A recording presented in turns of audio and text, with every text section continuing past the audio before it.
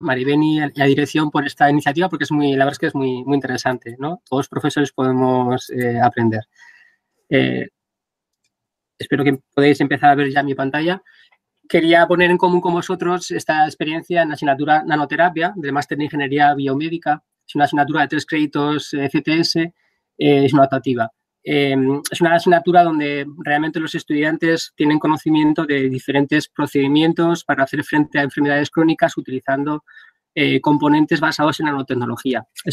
tiene cierta complejidad y todavía es algo más complejo para nosotros porque eh, los estudiantes tienen un perfil muy variado. Pues tienen estudiantes de, física, diferentes ingenierías, química, biotecnología. Entonces es uno de los, de los problemas que, que luego bueno, veréis en el DAFO que es una debilidad que es eso, que al ser eh, muy variado, pues tenemos que intentar motivar de diferentes formas a los estudiantes, ¿no? Eh, tiene una parte práctica, que esto sí que es un, problema en el caso de una asignatura que se da de forma no presencial, porque es una parte práctica en el laboratorio donde realmente es complicado eh, el, poder virtualizar una práctica e intentar tener las mismas capacidades. Salvo eso, todo lo demás creemos que sí que se ha conseguido para intentar llegar a los estudiantes, como os he dicho, e intentar motivarlos, igual que se ha hecho otros años de forma, eh, presencial, pues hemos utilizado eh, la videoconferencia y hemos utilizado dos plataformas, tanto Meet como una plataforma que tiene el CSIC, donde es muy interesante porque puedes plantear una gran cantidad de, preguntas en tiempo real y tienes un feedback muy rápido de los estudiantes. Y esto es muy importante pues porque, como comentabais ayer, eh, es difícil ¿no? ver qué pasa al otro lado de la, de la cámara y entonces de esta manera tienes un, eh, pues más información y puedes ir siguiendo cómo va eh, la clase. Además, los estudiantes nos pidieron siempre grabar las clases porque ellos querían profundizar ¿no? y tener más detalles que a veces pasan un poco desapercibidos ¿no? cuando, pues cuando, cuando das una, una clase ¿no? en, cuanto a ellos.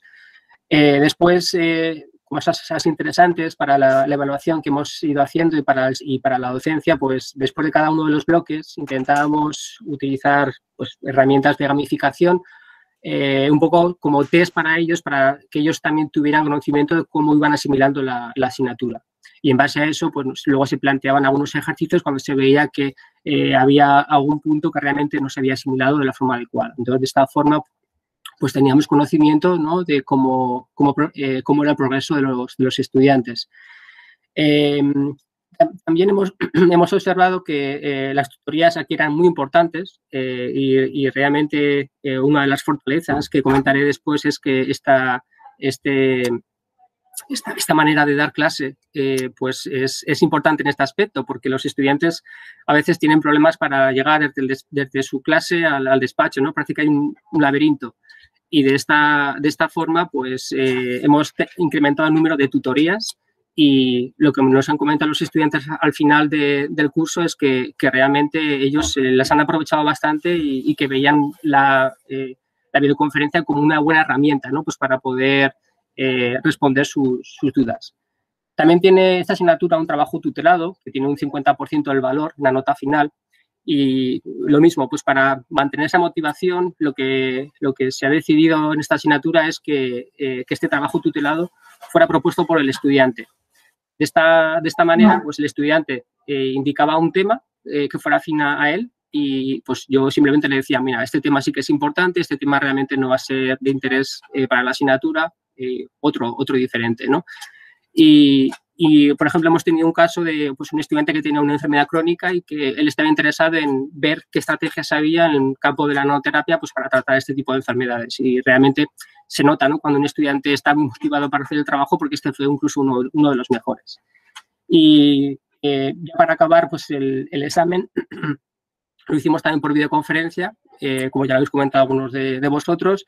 Y bueno, pues como eh, aspecto interesante es que realmente eh, en la evaluación de la asignatura, pues entre este año y el, año anterior, comparando un año presencial y no presencial, prácticamente eh, los porcentajes de las notas han sido muy similares. Entonces, estamos contentos, o, estoy contento porque realmente parece que, la estrategia que, utilizamos para el comienzo del curso pues ha funcionado bastante bien.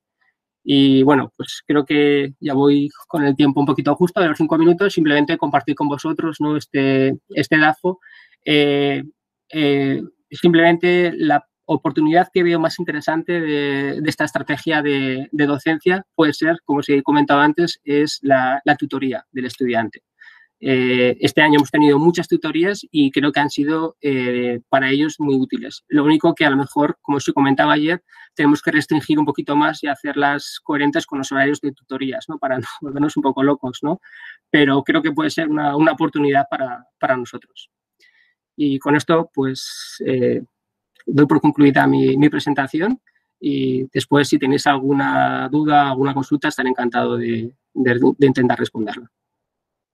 Mm, vale, muchas gracias, Víctor. Si os parece, eh, veo que aparecen algunas preguntas en el chat, pero vamos a hacer una primera ronda de todos los ponentes y luego ya empezaremos con preguntas, comentarios y, el coloquio.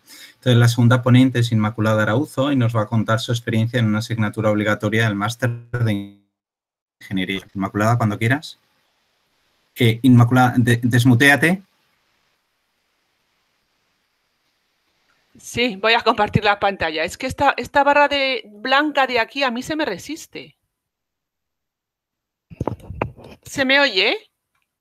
Sí, ahora estás tú muteado, pero vamos. Sí, perfectamente, se te oye muy bien.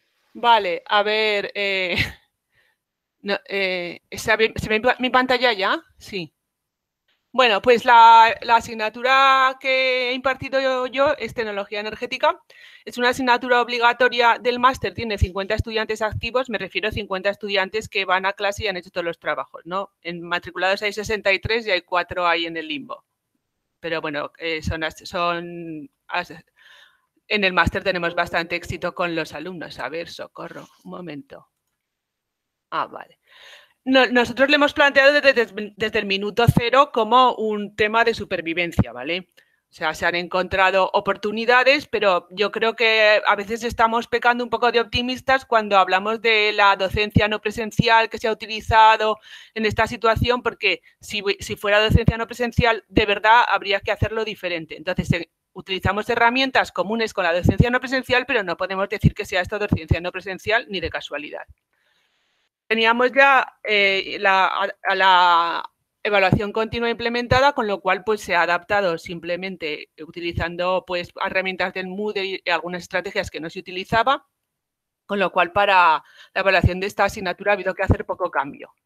En cuanto a, a clases magistrales, pues hemos optado por grabación de clases en vídeo más o menos los vídeos iban saliendo con la cadencia que los alumnos los tenían que ir viendo pero así pues los podían ver cuando quisieran. Y para mantener la asignatura de alguna manera viva, que es un poco el peligro que se corre cuando se utilizan vídeos y, tecnologías que no tengas mucha interacción directa con los alumnos, hemos utilizado el foro. Entonces abrimos un foro de teoría donde los estudiantes pues podían hacer preguntas sobre, en vez de pedir una tutoría, pues una pregunta puntual sobre alguna duda que les surgía y también los, otros estudiantes podían eh, contestar a esas dudas. Y nosotros les animábamos a que los estudiantes contestaran a dudas de compañeros y cuando un estudiante contestaba una duda, pues luego el profesor decía, pues efectivamente es así o bueno, es así, pero se corregía o se matizaba esa respuesta. Y yo creo que ha sido bastante eh, satisfactorio y de hecho lo vamos a utilizar en el futuro. ¿No? Porque vemos, pues a lo mejor que un alumno está estudiando, le surge una duda y pum, va al foro. No tiene que esperar a ir a una tutoría. y nosotros intentábamos contestarlo el foro pronto, ¿no? Luego las prácticas también hemos utilizado vídeos específicos de, donde se explicaba resolución de, problemas concretos o, o materia de las prácticas y hemos utilizado una herramienta de seguimiento del trabajo grupal de Moodle que se llama el programador. Entonces, esa herramienta es como para, es para pedir cita, pero cuando tienes el Moodle organizado por grupos de trabajo, con que lo pida uno del grupo ya se extiende a todo el grupo. Y además tiene una posibilidad y es de poner nota o de poner comentarios individuales a los alumnos de la tutoría, que yo no la he utilizado, pero está. El año que viene yo creo que la utilizaré. También se han utilizado foros para resolver dudas eh, y para de los alumnos y en este caso, en teoría, no solo es que sean los alumnos han preguntado en el foro, sino que si veíamos que había una pregunta que se hacía por correo electrónico, porque también atendemos tutorías por correo electrónico, y era recurrente, pues se ponía la respuesta en el foro, pensando que más gente iba a tener esa duda.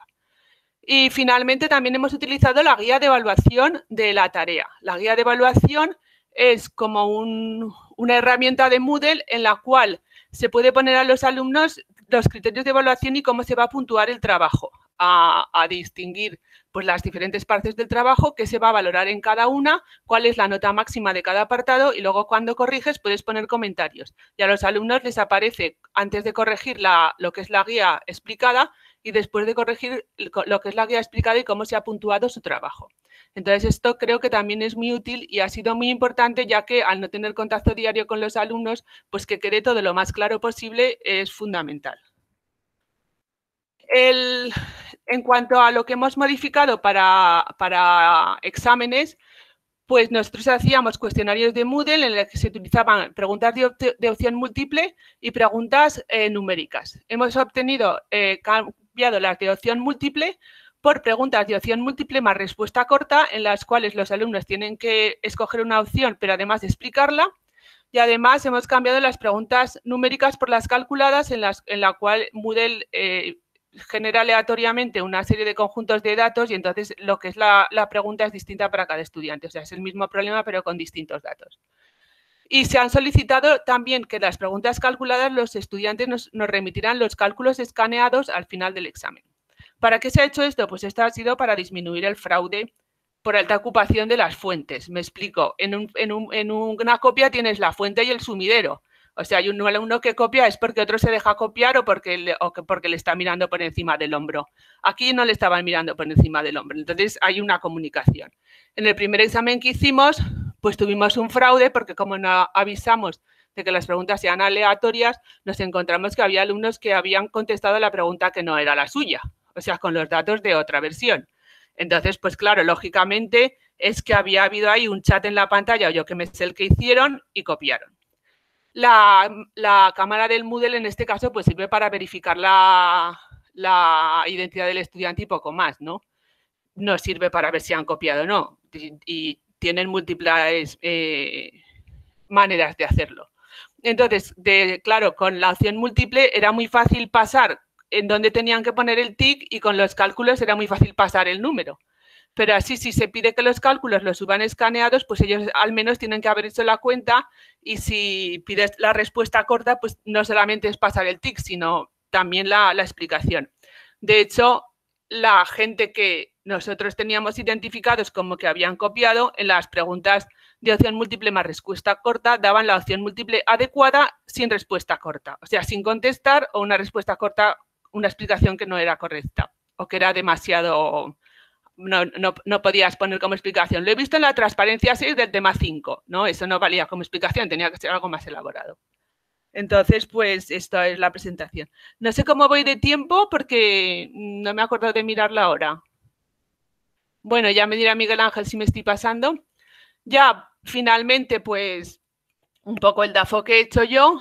Eh, en cuanto a amenazas, lo que veo más complicado de este nuevo sistema es la inseguridad de los exámenes, porque hasta que no se ponga una herramienta tipo Proctoring que controle la comunicación en el ordenador, mm, no podemos asegurar que no han copiado, por lo menos pues esto en una asignatura de 59 alumnos.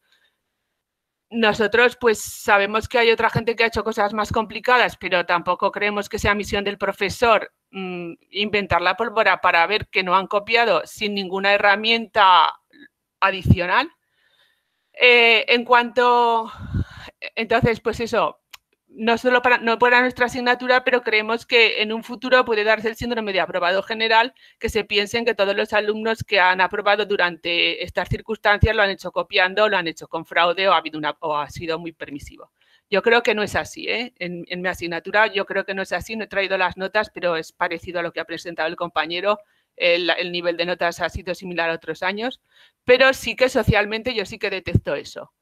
Luego las debilidades, lo más debilidades que lo más eh, importante creo que han sido la falta de herramientas para evitar el fraude, sobre todo en grupo grande. También la permisividad histórica con el fraude en UNIZAR, que, que, yo percibo que en esta universidad y en la Universidad Española en general es muy permisivo con las copias. O sea, no es que sea muy permisivo, es que se es poco contundente. Y bueno, reacción lenta e instrucciones imprecisas y cambiantes desde el rectorado creo que también ha sido una debilidad de la gestión de, todo este proceso. En cuanto a las fortalezas, pues bueno, yo creo que tenemos profesorado con mucha experiencia, no en, esta, en este ámbito, pero bueno, la experiencia siempre es un grado que la plataforma de la DD era muy utilizada por estudiantes y profesorado y entonces ha sido fácil incorporar nuevas cosas que había. Y luego la habilidad de estudiantes y profesorado con el manejo de la informática y las TICs, al menos en este centro. Creo que todos los profesores y todos los estudiantes pues nos manejamos bastante bien con cualquier tipo de estas herramientas. ¿no? Y en cuanto a las oportunidades, pues bueno, pues que hemos aprendido nuevas tecnologías porque yo nunca había grabado un vídeo docente ni había hecho muchas cosas que he hecho y que si no hubiera pasado esto, pues no, no sé si las hubiera hecho alguna vez en mi, en mi vida laboral y, son interesantes. El aprendizaje online requiere más disciplina, entonces yo creo que también nuestros estudiantes quizá pues han mejorado la autodisciplina y la programación y su organización para, para trabajar las habilidades para el teletrabajo que hemos tenido que adquirir también sí o sí.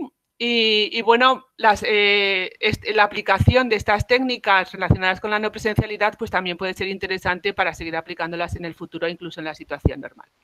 Ya he terminado. Muchas gracias, Inma. Eh, muy interesante todo, desde luego todas las charlas estoy seguro que van a ser muy interesantes y también la interacción entre el punto de vista de profesorado con el punto de vista de los estudiantes que vamos a poder ver al final de, estas ponencias. Sí que os aconsejo un poquito a los ponentes, os pido que eh, ajustéis el tiempo un poquito a cinco minutos, más que nada para que tengamos luego al final de las, de las charlas un poco de, tiempo para interactuar unos con otros y a las preguntas de, los asistentes. La tercera ponente es Pilar. Pilar, te he visto antes que estabas por ahí.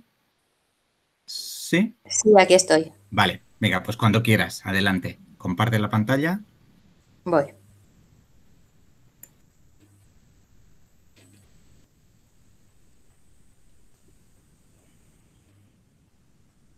¿Veis mi pantalla? Sí, sí, perfectamente. Bueno, pues voy a ser breve. Mi asignatura Modelos y Simulación de Flujos e Instalaciones es optativa del segundo curso, o sea, en primavera. Y tiene asignadas eh, clases, tenía asignadas clases los martes por la tarde, cuatro horas cada martes. Es una asignatura por su situación en la titulación de pocos alumnos eh, todos los años, em, aproximadamente unos 10, de los cuales activos, como decía Inmaculada, he tenido 7. Entonces es muy fácil de manejar en general y eh, eso viene bien por el tipo de asignatura que es, porque está pensada para que tenga una carga de conceptos teóricos mm, menor que de actividad práctica eh, de, de, mm, alumnos trabajando concretamente en la programación, en la compilación y en el análisis de resultados para comprender lo que yo les he explicado en los conceptos teóricos. Entonces, incluso cuando era presencial, traíamos los ordenadores al aula y más del 50% del tiempo lo pasábamos de esa manera. Entonces, que tradicionalmente les ponía todo el material en, en Moodle, pasábamos ese tiempo interactuando mucho y la evaluación eh, era mm, basada en los informes de, esas actividades, que son 10 prácticas, estas 10 que he listado aquí, y de un trabajo personal. Bueno, en cuanto a la docencia, lo que he hecho en esta situación especial ha sido simplemente trasladar lo que hacíamos cara a cara a la herramienta Google Meet. Entonces, las clases se han eh, desarrollado de manera síncrona, o sea, manteníamos el horario de clases eh, respetuosamente a través de Google Meet. Mm, yo les hablaba, ellos más o menos me contestaban, detectaba bastante pasividad, pero en clase también, o sea que ahí tampoco he notado mucha diferencia. Las actividades prácticas que he llamado prácticas computacionales y que, como digo, ocupaban la mayor parte del tiempo, también las hemos desarrollado sobre Google Meet, compartiendo pantalla y de una manera súper interactiva. Y luego hemos tenido un montón de actividad de tutorías sobre el propio Google Meet en sesiones aparte, a través del email y por Skype. La evaluación, eh, como digo, repito aquí más concretamente, la apoyo 80% en los informes de las 10 prácticas que tienen que realizar y 20% en un trabajo individual que mm, también tienen que exponer ante los compañeros. Entonces, eh, se ha expuesto el trabajo en una sesión final de Google Meet y todo ello, tanto las prácticas como el desarrollo del trabajo, se ha tutorizado muchísimo. Concretamente las prácticas, la novedad de este año es que se las he ido corrigiendo en Moodle y ofreciéndoles una segunda fecha para que las mejorasen y he notado que se motivaban bastante con eso. Eso nunca lo había hecho, ha sido, ha sido bueno. Y, y, les he exigido que se expresen mejor, o sea, les he corregido como si fueran correcciones de un paper y creo que en ese sentido han mejorado un poco. En la transparencia final, yo he valorado únicamente las cuatro cosas relativas a mi asignatura, no, no he querido ser general. Entonces, en una asignatura como esta, la, evaluación no presencial y la docencia no presencial no me parece que represente una amenaza, porque mm, ha sido bastante natural. Eh, como fortaleza de esta, de esta manera de, dar las clases y evaluar, eh, creo que ha ayudado a compatibilizar la asignatura con la vida de estos alumnos que son bastante mayores y casi todos tienen trabajo o están en prácticas con empresa, entonces eh, ha sido más fácil para ellos asistir a tutorías y todo. Como debilidades, pues creo que es bastante obvio, falta la interacción personal. Mm, como digo, en clase tampoco eran demasiado comunicativos, pero ciertamente a través de la pantalla hay una timidez todavía mayor. Y como oportunidades, pues es un estímulo para las nuevas tecnologías y naturalmente para, como ha dicho Inmaculada, posibles estudios no presenciales o semipresenciales futuros. Y ya está, por mi parte. Muchas gracias, Pilar. Muy, muy concisa y muy clara en, todos los puntos que quería destacar. Pasamos a la cuarta ponencia a cargo de José Ángel, José Ángel Peña, y nos va a contar su experiencia en el máster de Ingeniería Química. José Ángel, cuando quieras. Muy bien, muchas gracias. Me imagino que me oís. Eh, bueno, paso a, poner la presentación. A ver si la encuentro.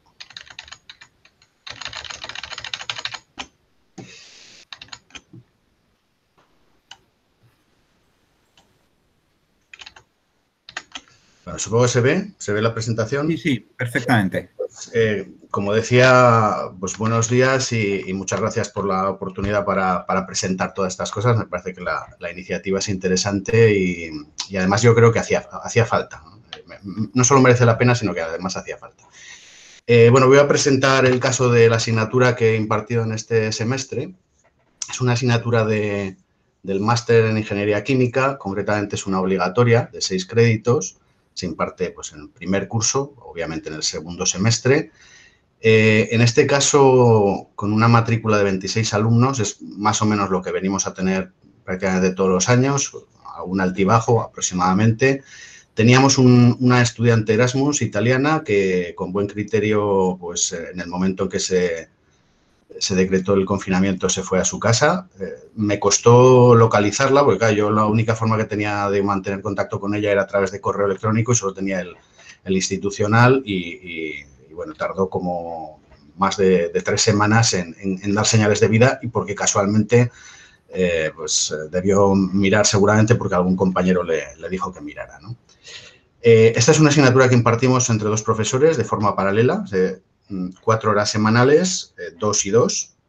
Entonces yo voy a contar la parte que que yo he impartido, que es la correspondiente análisis de consecuencias y vulnerabilidad. Son, son temas complementarios, la otra parte la imparte Jesús Manos, compañero de mi departamento y de mi área, eh, que es la identificación y cuantificación de riesgos, digo, son completamente complementarios, que decir, no, no colisionan en absoluto. Eh, intentaré ceñirme al tiempo porque sé que, es, es, importante. Vamos a ver, objetivos. Pues desde el primer momento, mi objetivo en esta asignatura fue normalizar lo extraordinario, es decir, tratar de que el impacto fuera el menor posible. ¿Eso qué quiere decir? Pues que mantuvimos, eh, o mantuve, mantuvimos, junto con, los estudiantes, eh, eh, el, calendario preestablecido, días y horas, las clases siempre fueron síncronas, con grabación, es decir, grabábamos la clase de modo que después estaba accesible para quien quisiera asistir a ella en diferido. Sobre todo me consta que muy interesante para ellos en las clases de prácticas, que eran una de cada dos, de prácticas quiero decir, perdón, de, problemas, ¿no? resolución de, de casos, etcétera.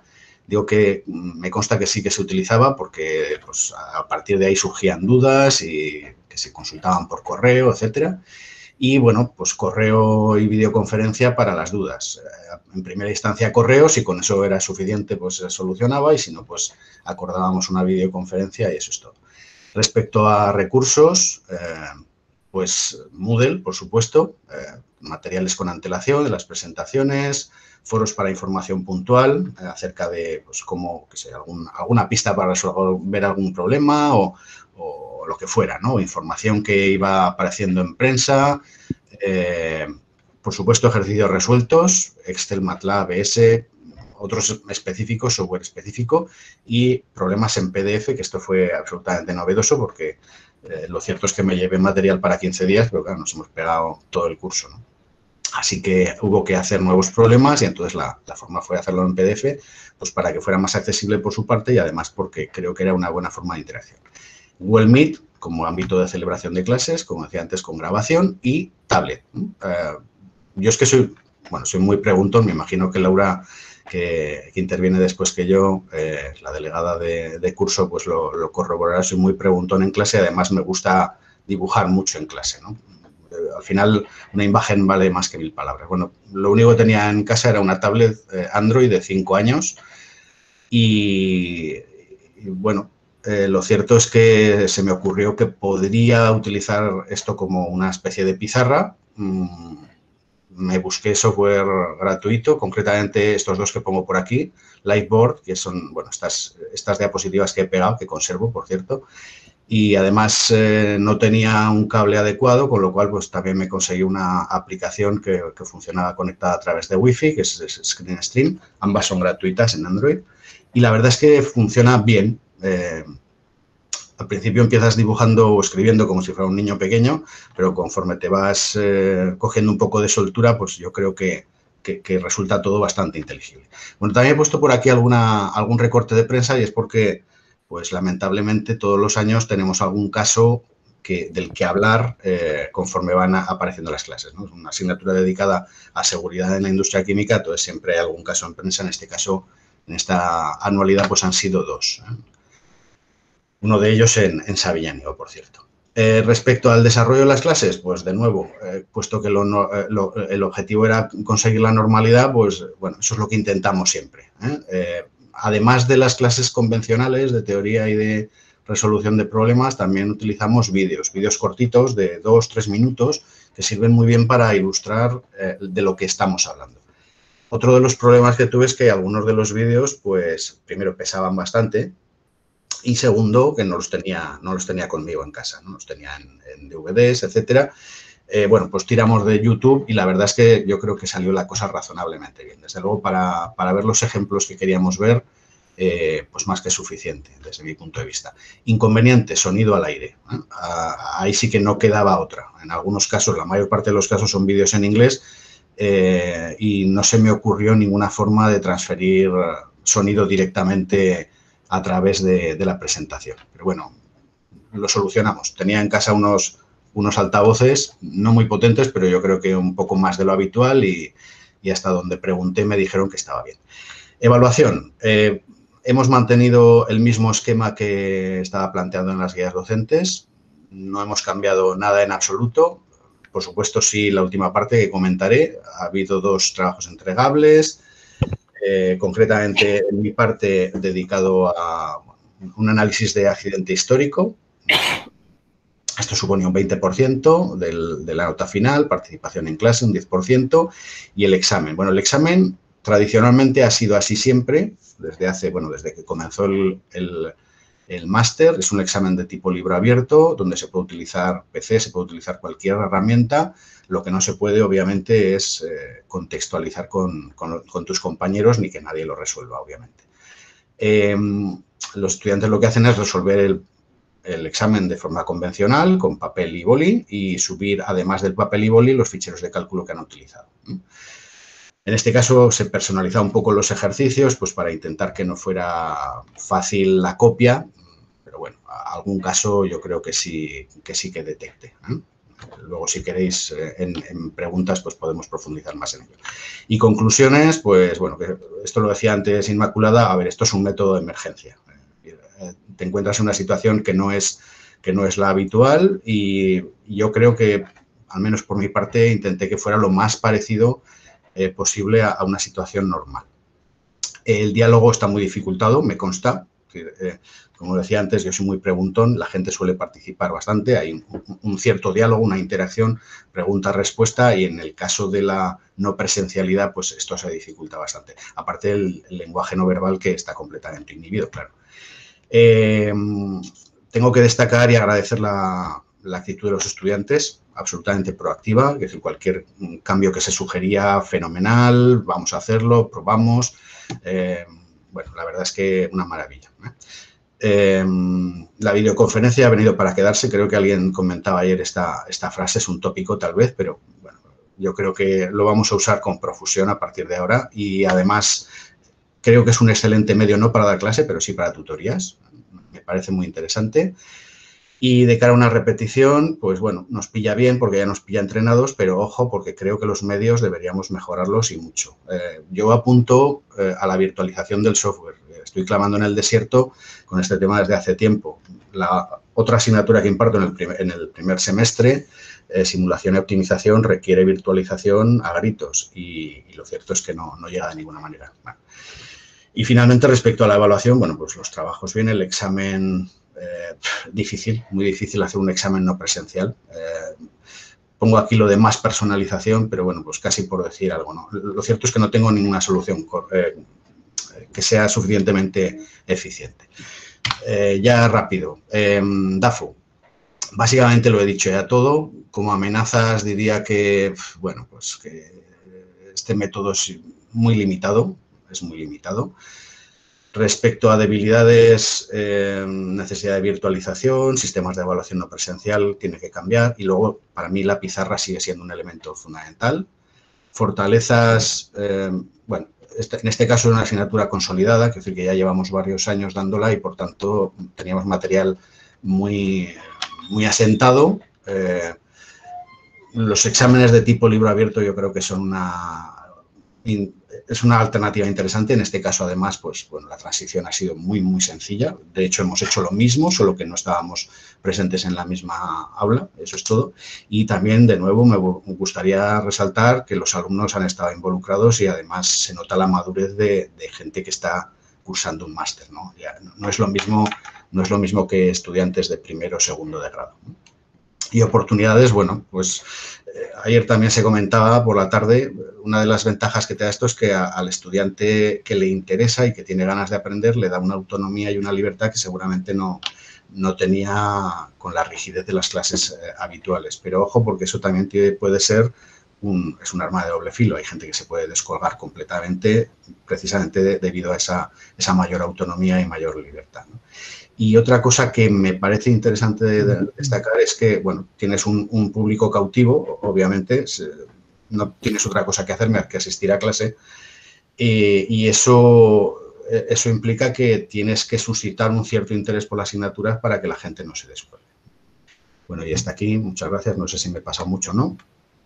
Bueno, no, em, ha estado muy interesante, José Ángel. Ha sacado varios puntos que seguro que luego en el debate posterior vuelven a salir estoy seguro de ello. Eh, pasamos a la, segunda, a la otra cara de la moneda, que serían los estudiantes, a ver cómo, han visto los másteres desde el punto de vista del estudiante.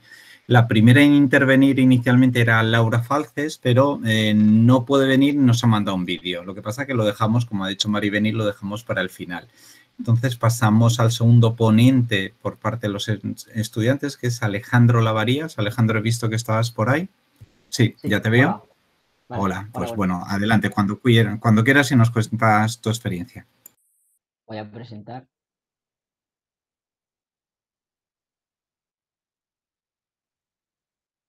A ver, un momento.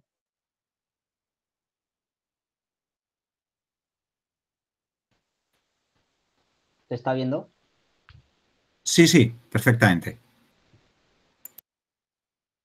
Bueno, eh, como estamos dos delegados eh, María Lobato, que viene a continuación, y yo, yo me voy a centrar más en, la, en lo que es la parte de evaluación o presencial y María va a hablar más de la, de la docencia. Em, como llevamos muchas asignaturas, lo que, voy a, lo que voy a mostrar aquí en el DAFO son más características un poco generales y en cada una, si hay algo que destacar, pues, eh, pues me concretaré en, en, las asignaturas o casos que hayamos tenido más particulares. Eh, en primer lugar, las amenazas son muy generales, ya las habréis tenido en cuenta. La no, disponibilidad de recursos. En nuestro caso, sí que tuvimos algún compañero que no disponía de cámara en el portátil y, y temas similares, pero bueno, se solucionó con, la posibilidad de utilizar la, la cámara del móvil como, como, dispositivo para Google Meet. Así que en ese aspecto no hubo nadie que tuviese problemas. Eh, en cuanto a las caídas de conexión, sí que han sido recurrentes en tanto en los exámenes como en las sesiones de, clase. Eh, sin embargo, bueno, los, profesores han sido muy flexibles en los momentos en los que una persona durante un examen se desconectaba porque enseguida pues, se ponían en contacto con ellos, ya sea por correo o, o intentando conectar lo más rápido posible. En mi caso, por ejemplo, en el último examen que tuvimos, eh, se me fue la conexión y no conseguía volver a entrar en, en Google Meet. La solución fue cambiar de navegador no sé la explicación, pero cambiando de navegador pude volver a entrar y, bueno, el profesor no me puso ningún problema y en ese aspecto pues, pues es de agradecer porque bueno, son momentos difíciles y, y la flexibilidad se, se, agradece. En cuanto a las debilidades, estoy muy de acuerdo con todo lo que ha dicho Inmaculada.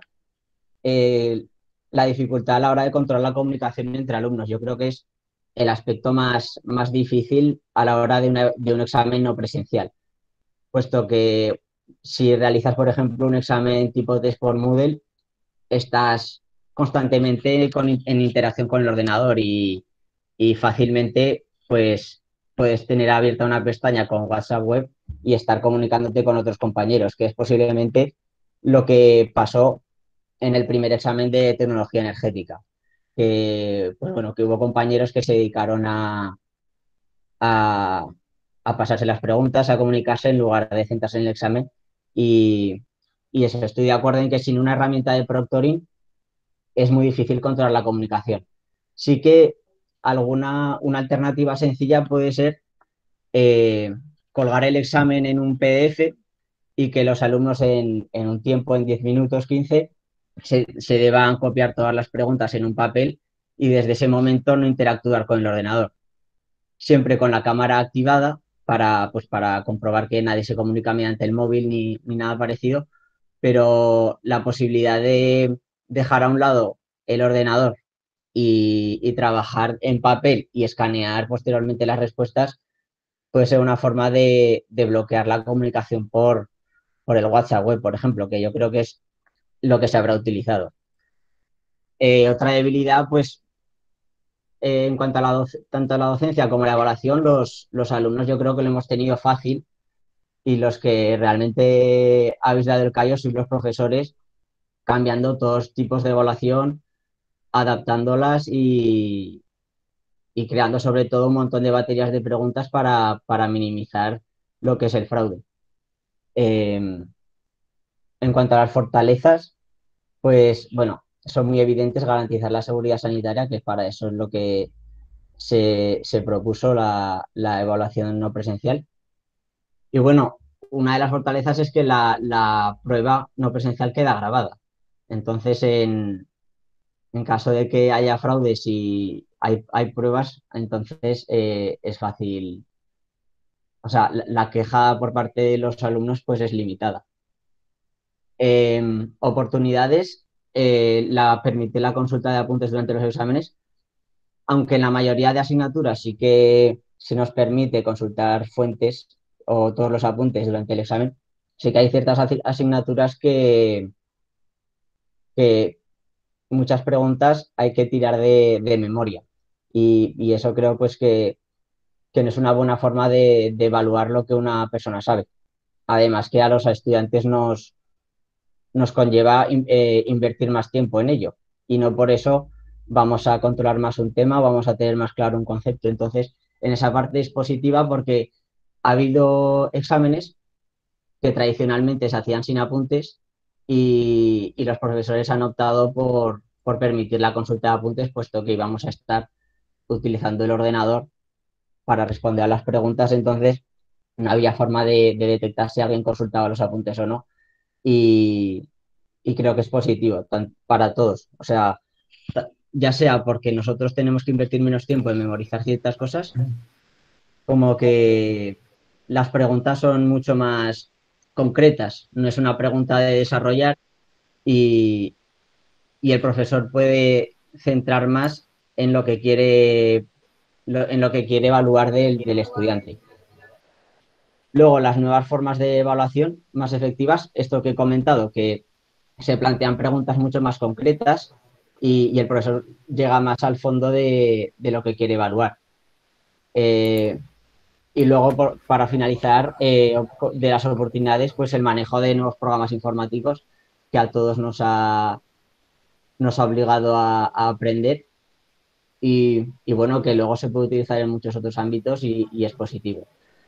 Y en caso, quiero destacar algunos casos concretos en los que estamos muy contentos con las decisiones que se han tomado. Por ejemplo, en la, en la asignatura de planta y servicios industriales teníamos una parte práctica del examen que era pues la realización de planos de distribución de naves en, parcelas.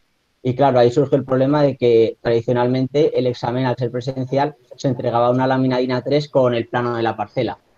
Y claro, en este caso no podíamos no podíamos plantearlo de esa forma porque no, todo el mundo tiene impresora en casa y menos una DIN A3. Entonces la solución que se encontró fue colgar el plano de la parcela unos días antes, pero sin los datos ni el enunciado del problema.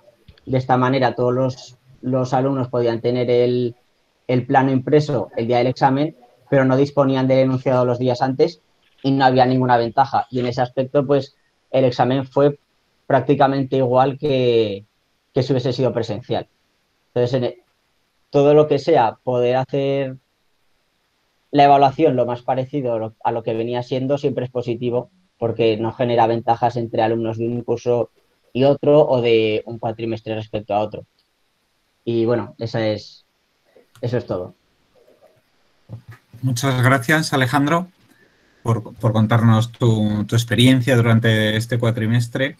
Eh, pasamos a María Lobato, también delegada del máster de, Ingeniería Industrial. María, que veo que estás por ahí cuando quieras.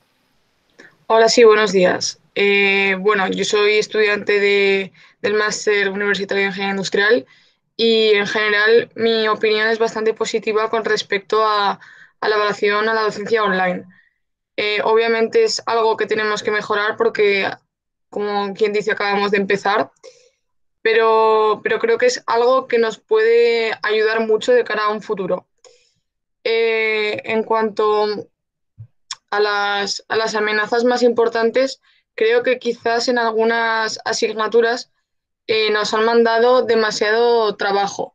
En, dirección estratégica, por ejemplo, eh, había cada semana dos o tres entregables y, eso quizá a veces es demasiado para, demasiada carga para los alumnos, porque al final acabamos agotados de todas las semanas hacer entregas y al final el peso que, eso tenía en la, asignatura no, era demasiado.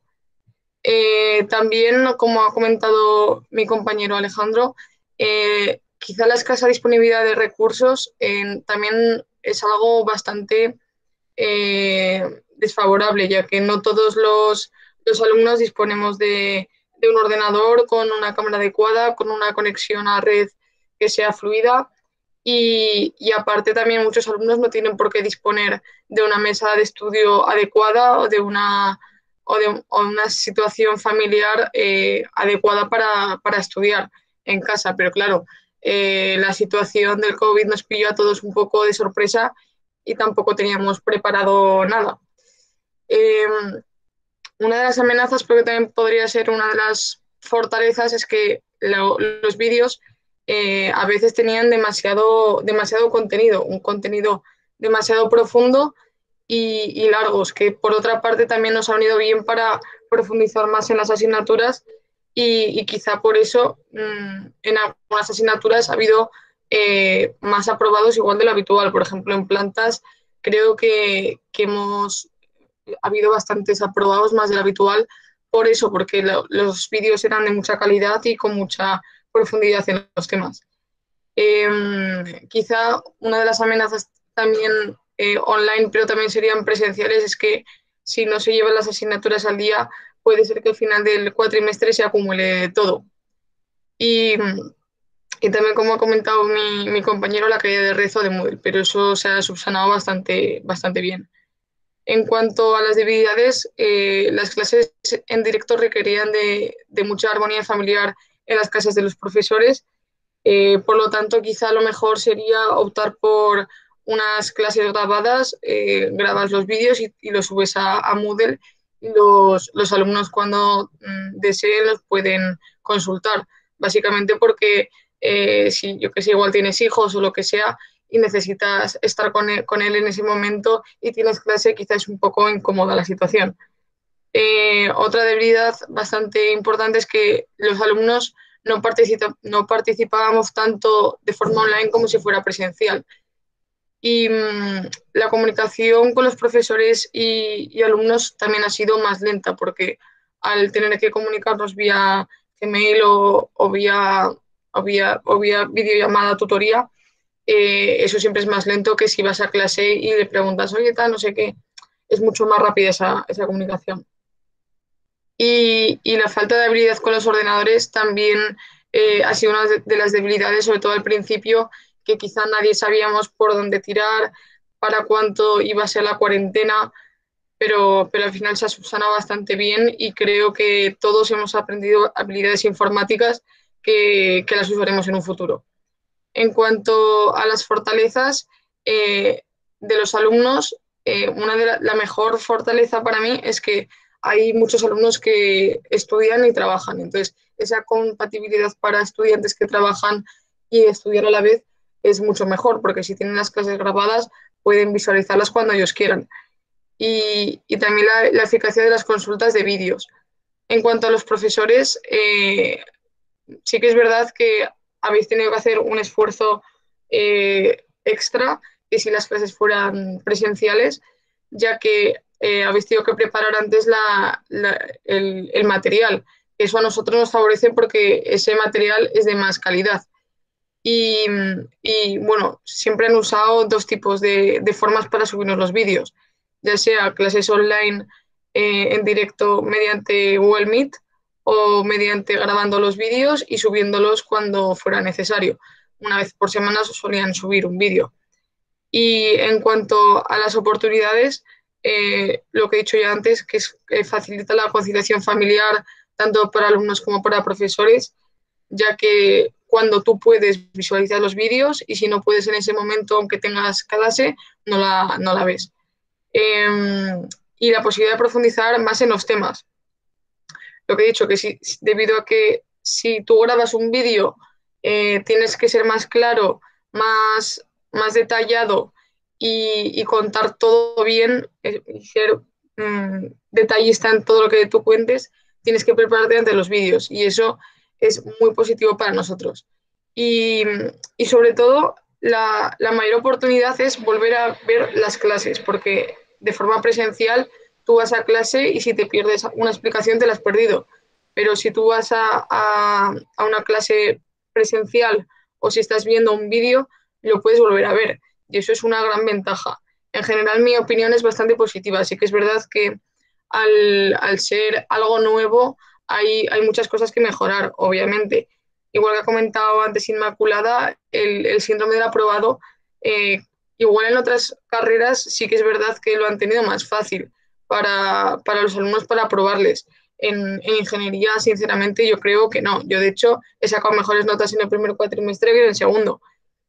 Y, mis amigos, por ejemplo, del tema del, del, ámbito biosanitario sí que han sacado mejores notas, han sacado notazas pero en ingeniería yo creo sinceramente que no. Y, no sé si os servirá esto que os voy a decir, pero ayer estuve hablando con una de mis mejores amigas que es biotecnóloga y me ha dicho que están ya preparando las, clases online para el primer cuatrimestre. Que no sé si, es demasiado pronto o no, pero eh, están atentos porque creen que van a volver a confinar a, toda España y para estar preparados y que no les pille de improviso. Y, bueno, ya está, ya he terminado. Muchas gracias. Aspectos muy interesantes. Eh, después comentaremos a lo mejor alguno, bueno, alguno de los puntos que has planteado, incluso lo que has comentado al final, pues seguro que sale luego en, el turno de, coloquio. Eh, Andrés, eh, no te conozco, ¿estás por ahí? Sí, buenas. Sí, pues adelante, cuando quieras. Vale, ¿se me escucha bien? Sí, sí, sí, sí, perfecto. Vale, vale, vale. bueno, pues buenos días. Eh, voy a presentar un momento.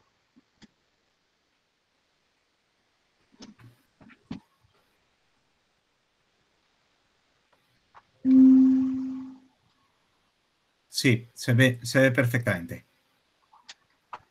Vale.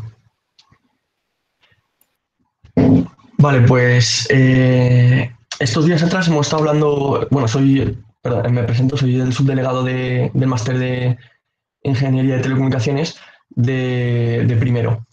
Eh, estos días atrás hemos estado hablando toda la clase en general, dando nuestra opinión y un poco es lo que vengo a, traer aquí. Eh, vale, el primer punto, las clases online y tutorías las hemos valorado en general muy bien. Creemos que se ha repartido, o sea, se ha dado toda la materia que se quería dar, casi toda, eh, se comenzó muy rápido en el comienzo del, confinamiento y la verdad es que agradecemos esa rápida actuación. También creemos que respecto a las tutorías han sido muy rápidas, o sea, acabamos por, por correo, eh, resolvíamos dudas por correo o bien eh, concertábamos un Meet y las hemos agradecido también mucho y han sido muy útiles. También en general los ejercicios resueltos que han subido a Moodle también han sido muy, muy útiles para nosotros en general, que digamos para suplir, creemos que ha sido bueno para suplir eh, los ejercicios que normalmente resolveríamos en, clase. Lo que sí, un poco que se ha valorado en las clases un poco monótonas y con falta de dinamismo. Por eso eh, pensamos que, eh, como proponemos así como clase, eh, primero, mejorar los apuntes de la asignatura para poder prepararnos nosotros mejor las asignaturas. Es decir, nosotros, nosotros normalmente en casi todas las asignaturas tenemos eh, solo las diapositivas. Entonces, que están muy bien. La verdad es que eh, como diapositivas son, son muy útiles, pero quizá tener un poco más apoyo en libros o en algunos apuntes más redactados nos hubiese servido. Luego también, em, otra cosa que hemos echado mucho en falta son que el, el poder tener almacenadas las clases, porque sí que sabemos que se han grabado en, algunas, pero no teníamos acceso a ellas. Entonces, hubiésemos agradecido mucho el, tener las clases grabadas para luego poder repasar, eh, volver a ver conceptos que quizá nos, nos habían dado y, también un poco nos hubiese venido bien eh, para compatibilizar con el trabajo, ya que en nuestra clase la, la gran mayoría eh, son, somos gente que a la vez estamos trabajando o haciendo prácticas y demás. Y luego también escuchamos que sí que se, como que se van a preparar las aulas para emitir las clases, que no sé tampoco hasta dónde habrá llegado ese proyecto, pero sobre todo nos preocupa eh, la conectividad, o sea, la, red de la universidad, que no sabemos si va a ser capaz de soportar tanto tráfico. Eh, si al final se van a poder emitir las clases desde las aulas. Vale, respecto a las prácticas, esto se ha llevado la peor parte porque creemos que nos han desarrollado bien todas las competencias, porque al fin y al cabo en nuestro máster, o sobre todo en este cuatrimestre, íbamos a cacharrear mucho en, el laboratorio y al final no hemos podido. Eso a, que ha llevado a que al final hemos tenido que pasar demasiado tiempo redactando informes, más del que creemos que deberíamos haber invertido, y, no sabemos si al final esa evaluación, sea, no, sé, no sabemos si al final esas competencias las hemos desarrollado bien y echamos en falta esa, esas prácticas presenciales. Eh, que de algún modo también lo que nos gustaría es que de cara al curso que viene, pues si al final, si las autoridades nos lo permitieran, eh, pudiésemos ir eh, presenciales, o sea, hacer las prácticas presenciales, aprovechando también el hecho de que somos pocos en clase y creemos que se pueden respetar las medidas de seguridad. Y luego también agradecemos mucho a los profesores el, el haber conseguido licencias para trabajar desde nuestros portátiles y, y, todo ese esfuerzo, pero sí que es verdad que ah, nos hemos tenido que descargar programas muy pesados y con alta carga computacional que nuestros ordenadores igual no estaban adecuados ¿no? para, para esos programas. Entonces optamos también por realizar las prácticas de manera remota y no utilizar directamente nuestros ordenadores. Para eso también habría que mejorar o asegurar que la red va a funcionar correctamente. Eh, luego también, eh, si al final no se pueden hacer las, las, prácticas presenciales, agradeceríamos y hemos valorado mucho mejor el que podamos preguntar directamente en ese mismo momento a los profesores para que al final no se nos alarde. Luego, respecto a los trabajos en general, estamos muy contentos porque sí que se ha reflejado con nuestro, nuestra, nuestro trabajo y nuestro esfuerzo. Y creemos que se han evaluado correctamente. Hemos podido hacer reuniones eh, casi en el mismo día que nos surgían dudas o problemas y la verdad es que también estamos muy contentos en ese aspecto.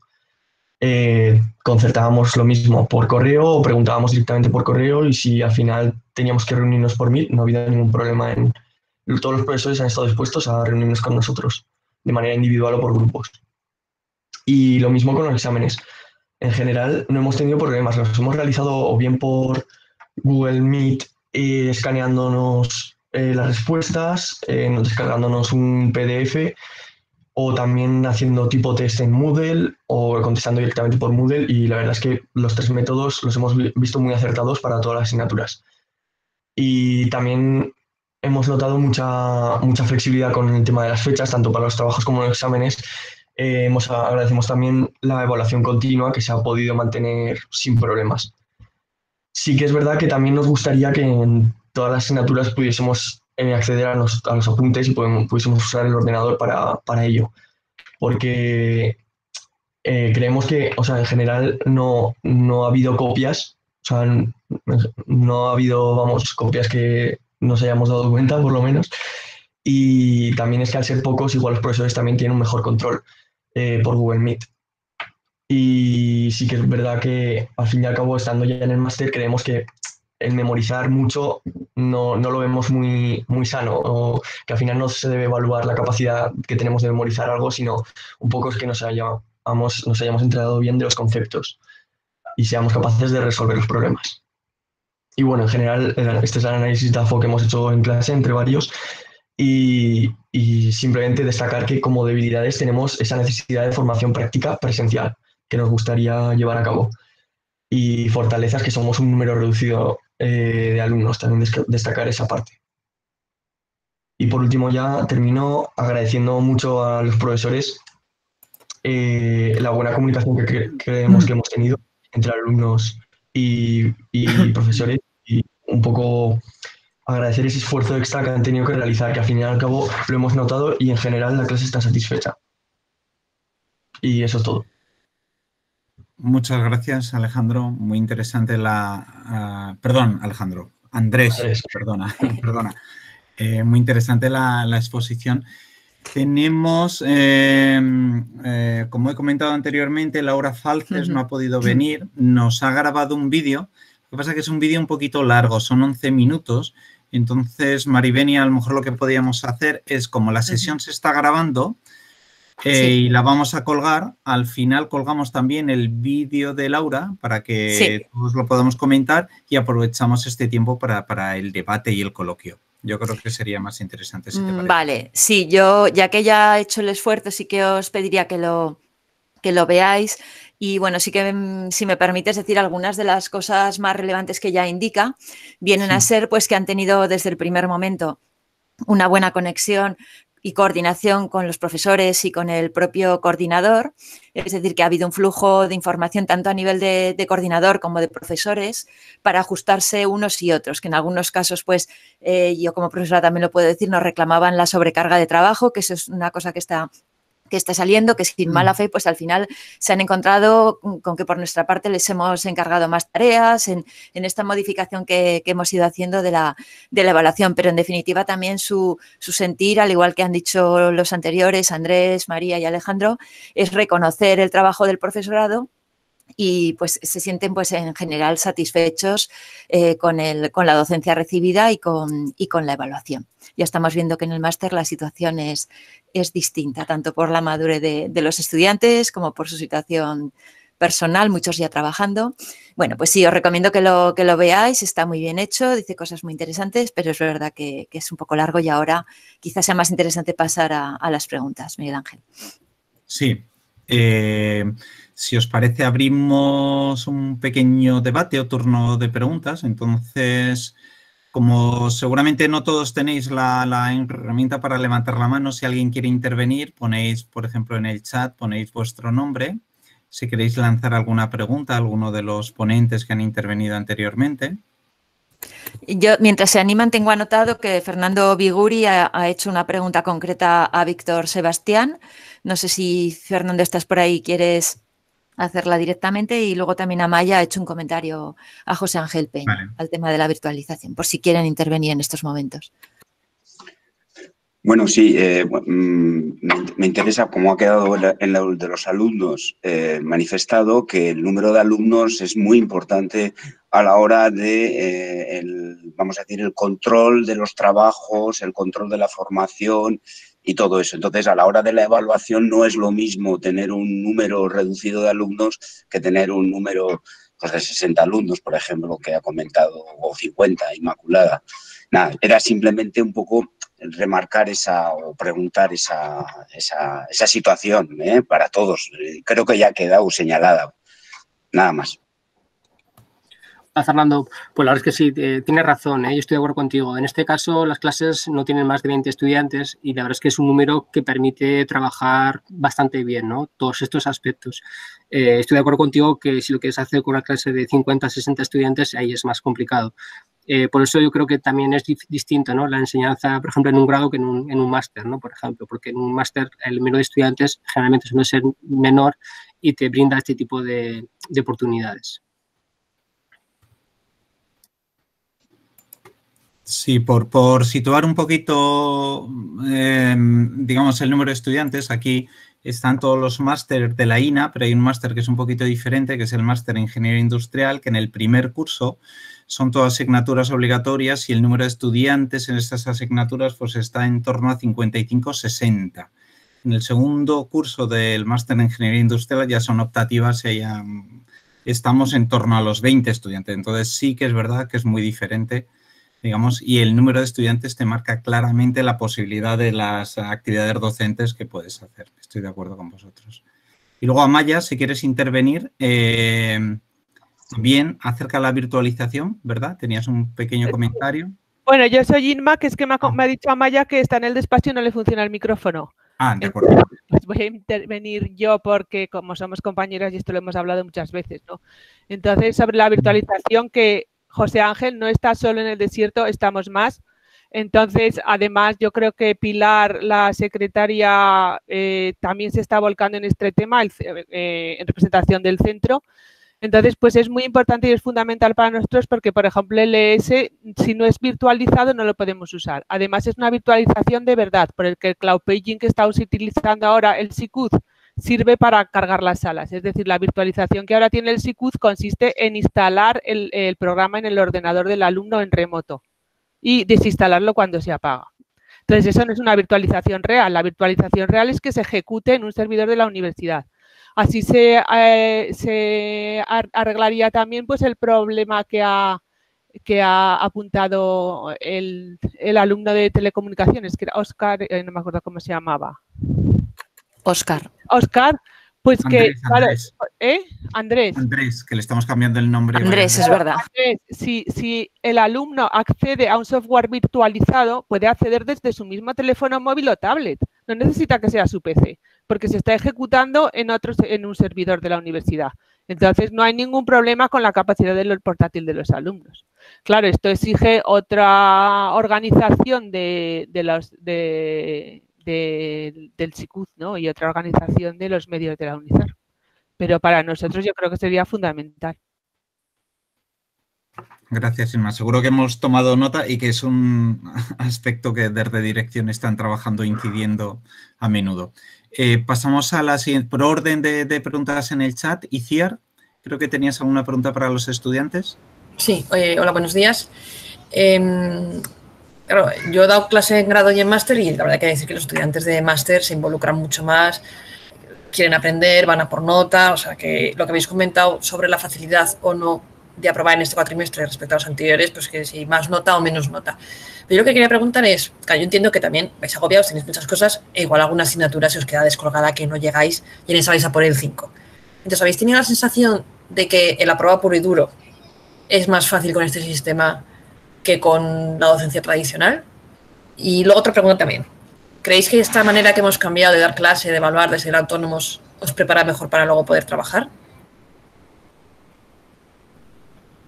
a cualquier estudiante. Vale, pues cojo yo la pregunta. Eh, en cuanto a lo de aprobar más fácil, eh, yo he notado que quizá puede haber sido más fácil aprobar en aquellas asignaturas que antes no se consultaba, no se permitía consultar los apuntes y, en las que ahora por, pues por, lo, por el problema que hemos tenido se, ha permitido. En esa sí, pero en el resto yo creo que ha sido bastante justo y bastante igual a lo que había sido años anteriores. Eh, ¿Cuál era la segunda pregunta? Perdona. Sí, sí que creéis con estas nuevas metodologías que hemos tenido, que os hemos dado más autonomía, que los exámenes igual eran con apuntes y pudiendo consultar más cosas, por lo tanto las preguntas también son distintas. Si creéis que os ha preparado mejor para vuestro futuro profesional, para trabajar en una empresa. Eh, yo creo que sí. O sea, por parte de la docencia, el, hecho de, ya se ha comentado, pero en, el caso del máster de Ingeniería Industrial, todas las clases virtuales se han grabado, ya sean si se hayan sido en directo y se haya grabado la sesión de Google Meet o se haya grabado un vídeo y, se ha podido consultar después eh, todo el tiempo. O sea, eso creemos que es muy positivo, que, nos ha ayudado mucho a, entender mejor todo, a repasar Sí que es cierto, eh, como ha comentado María, que algunos vídeos, no en directo, sino que se grababan y luego se subían, eh, lo positivo es que se profundiza más, la explicación es más clara, está más preparada, pero a veces se peca y se alargan los vídeos. En, nosotros en la asignatura de pantalla y servicios industriales hemos tenido algún vídeo de tres horas, entonces sí que nos suponía más carga. Y bueno, yo creo que sí que nos ha preparado mejor y, las y los exámenes sí que muchas preguntas creemos que se han planteado mejor, de forma de que se centra más en, el concepto y no en, en, simplemente memorizar alguna cosa. O sea, las preguntas se han enfocado de mejor manera, yo creo. Entonces creo que sí, que nos ha preparado mejor. Yo, si, si me permites también responder, también pienso que eh, ha habido una falta, en nuestro caso por lo menos, de, ese, de las prácticas sobre todo. O sea, del, aspecto de, trabajar en un laboratorio.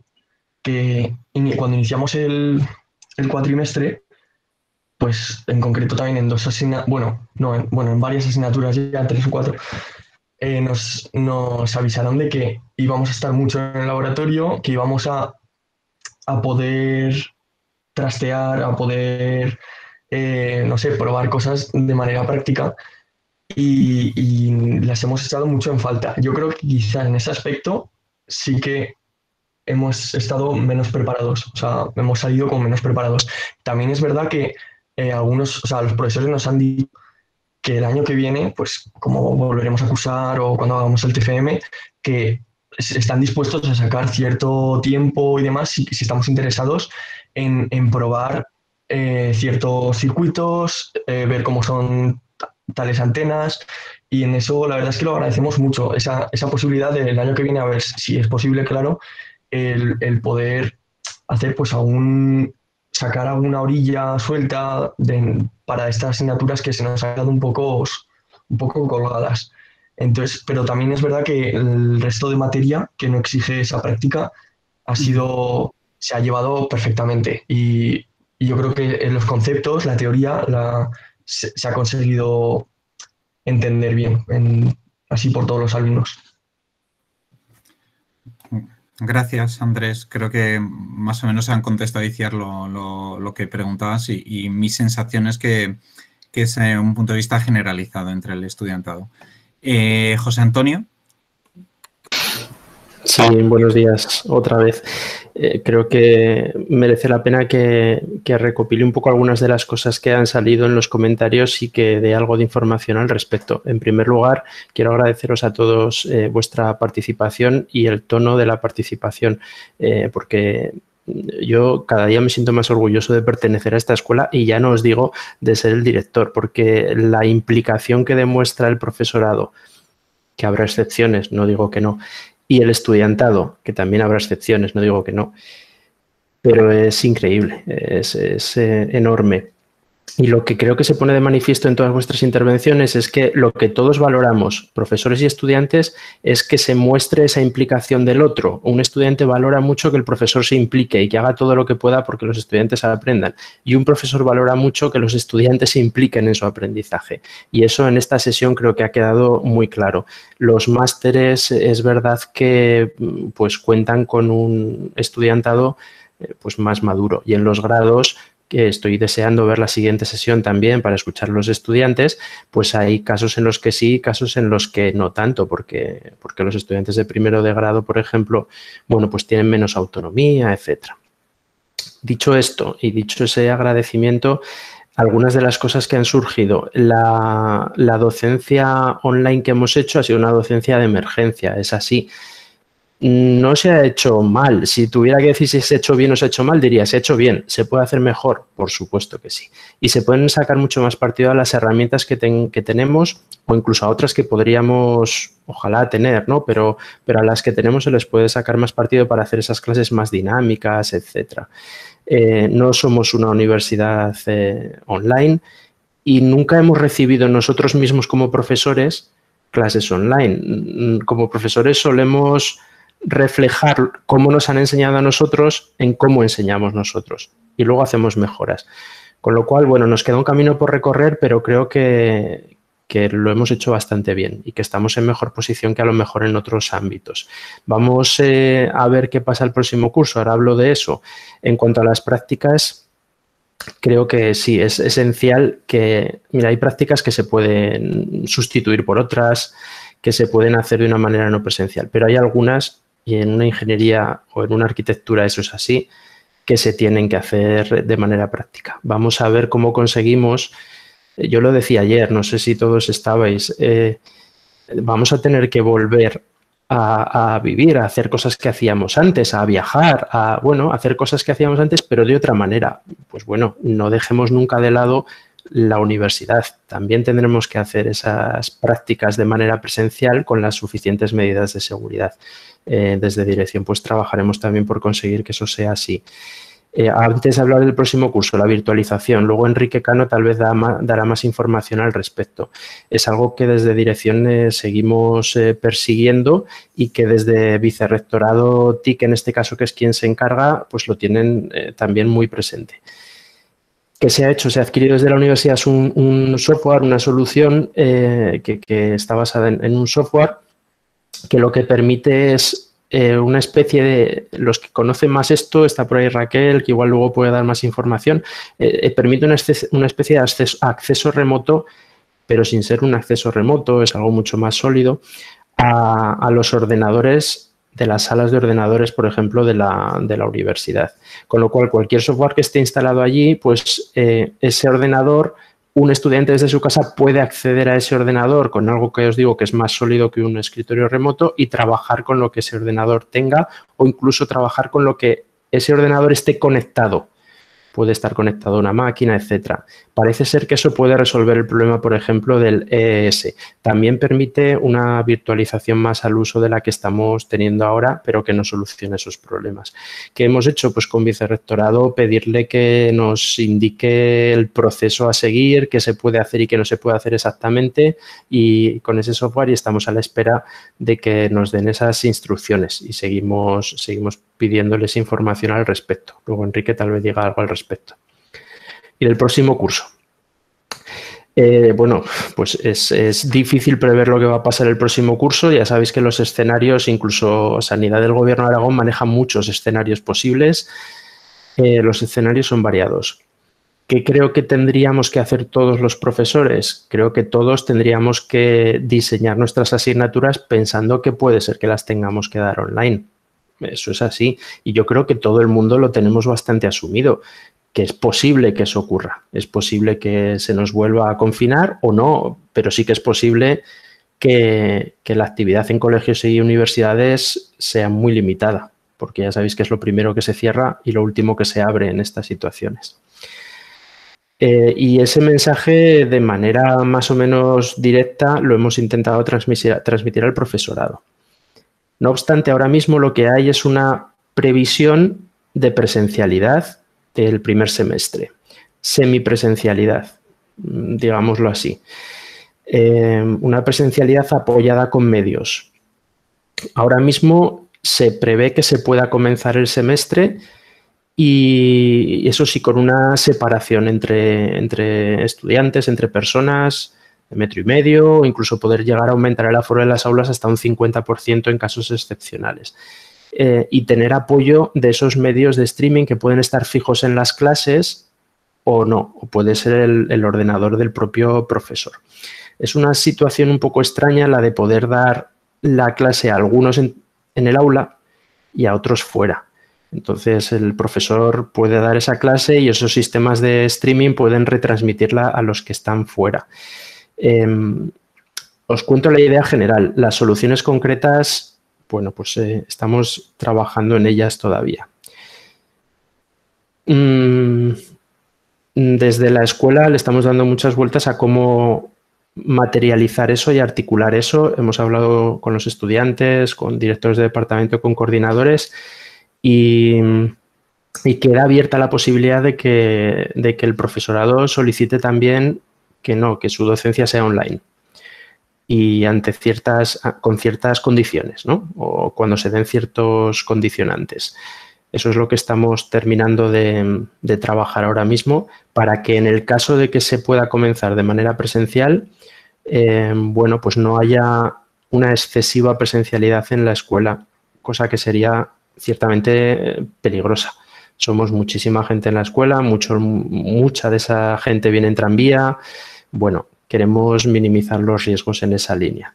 ¿Y por dónde eh, los minimizaríamos? Pues eso, permitiendo esa docencia online para los profesorados que lo solicitasen y cumplan ciertos requisitos o eh, pues con un aforo menor en las aulas y cuando no se entre todo el mundo en el aula, todo lo que tiene que recibir la clase, pues que esa clase o se retransmita o se grabe o se suba, etcétera. Todo eso salvo estudiantes de primero de grado en primero de grado pensamos que es muy importante la presencialidad y ahí eso lo trataríamos de una manera, de una manera independiente. A grandes rasgos eso es lo que os puedo transmitir sin daros seguridad total de que eso vaya a ser exactamente así, porque es que las condiciones ya sabéis que son cambiantes de un día para otro, pero en ese escenario nos tenemos que poner en alguno, en ese escenario de presencialidad lo haríamos en principio así. Escenario de no presencialidad, que es posible también, bueno, pues como digo, los profesores deberíamos estar pensando todos en nuestras asignaturas de manera no presencial también, intentando que las prácticas que hay que hacer eh, pues ahí físicamente las podamos llevar a cabo. Intentaríamos que eso fuera así y creo que eso, eso más o menos da una panorámica de las cosas que han ido surgiendo en esta sesión. Así que si Enrique, que creo que, estaba ahora, puede aportar algo más sobre la virtualización y luego pues estoy abierto también a los comentarios que queréis hacer. Gracias, José Antonio. Eh, la verdad es que le has dicho todo, todo bastante, bastante bien, ¿no? no puedo aportar mucho más pero sí que mm, querría aprovechar ya personalmente para, eh, para mostrar mi, bueno, mi, emoción, ¿no? Después de cuatro meses que hemos estado en dirección trabajando mucho, escucharos a los alumnos eh, con esta positividad y con, con, la sensación de que las cosas se han hecho razonablemente bien, pues es, eh, es muy alentador, nos da mucha, mucha fuerza, por lo menos a mí, ¿no? Porque daros cuenta que normalmente a los subdirectores eh, nos toca apagar los fuegos de las cosas que no funcionan. Por ejemplo, si no funciona la virtualización del ES, pues tienes que intentar que, así se haga. ¿no? Eh, eso es tremendamente importante, para, por lo menos eh, para nosotros y, para mí en particular. En cuanto a lo que, es, lo que estáis comentando de virtualización, hemos estado en contacto, siempre estamos en contacto con el vicerrector de, de TICS y, él está haciendo un esfuerzo eh, grande eh, por intentar que las eh, salas se queden, tengamos como dos modelos, ¿no? Uno que sería su acceso remoto. Ah, el acceso remoto sería mm, no físico, o sea, decir, es como si pudiéramos estar trabajando en esa sala y eso nos lleva a un problema, que es que em, cuando se esté trabajando en esa sala desde casa, ese ordenador está bloqueado. Es casi como si estuviera uno eh, presente en ese ordenador. Y eso conlleva una serie de cosas. Es decir, por ejemplo, eh, tienes que estar trabajando cuando te toca eh, en tu horario de trabajo.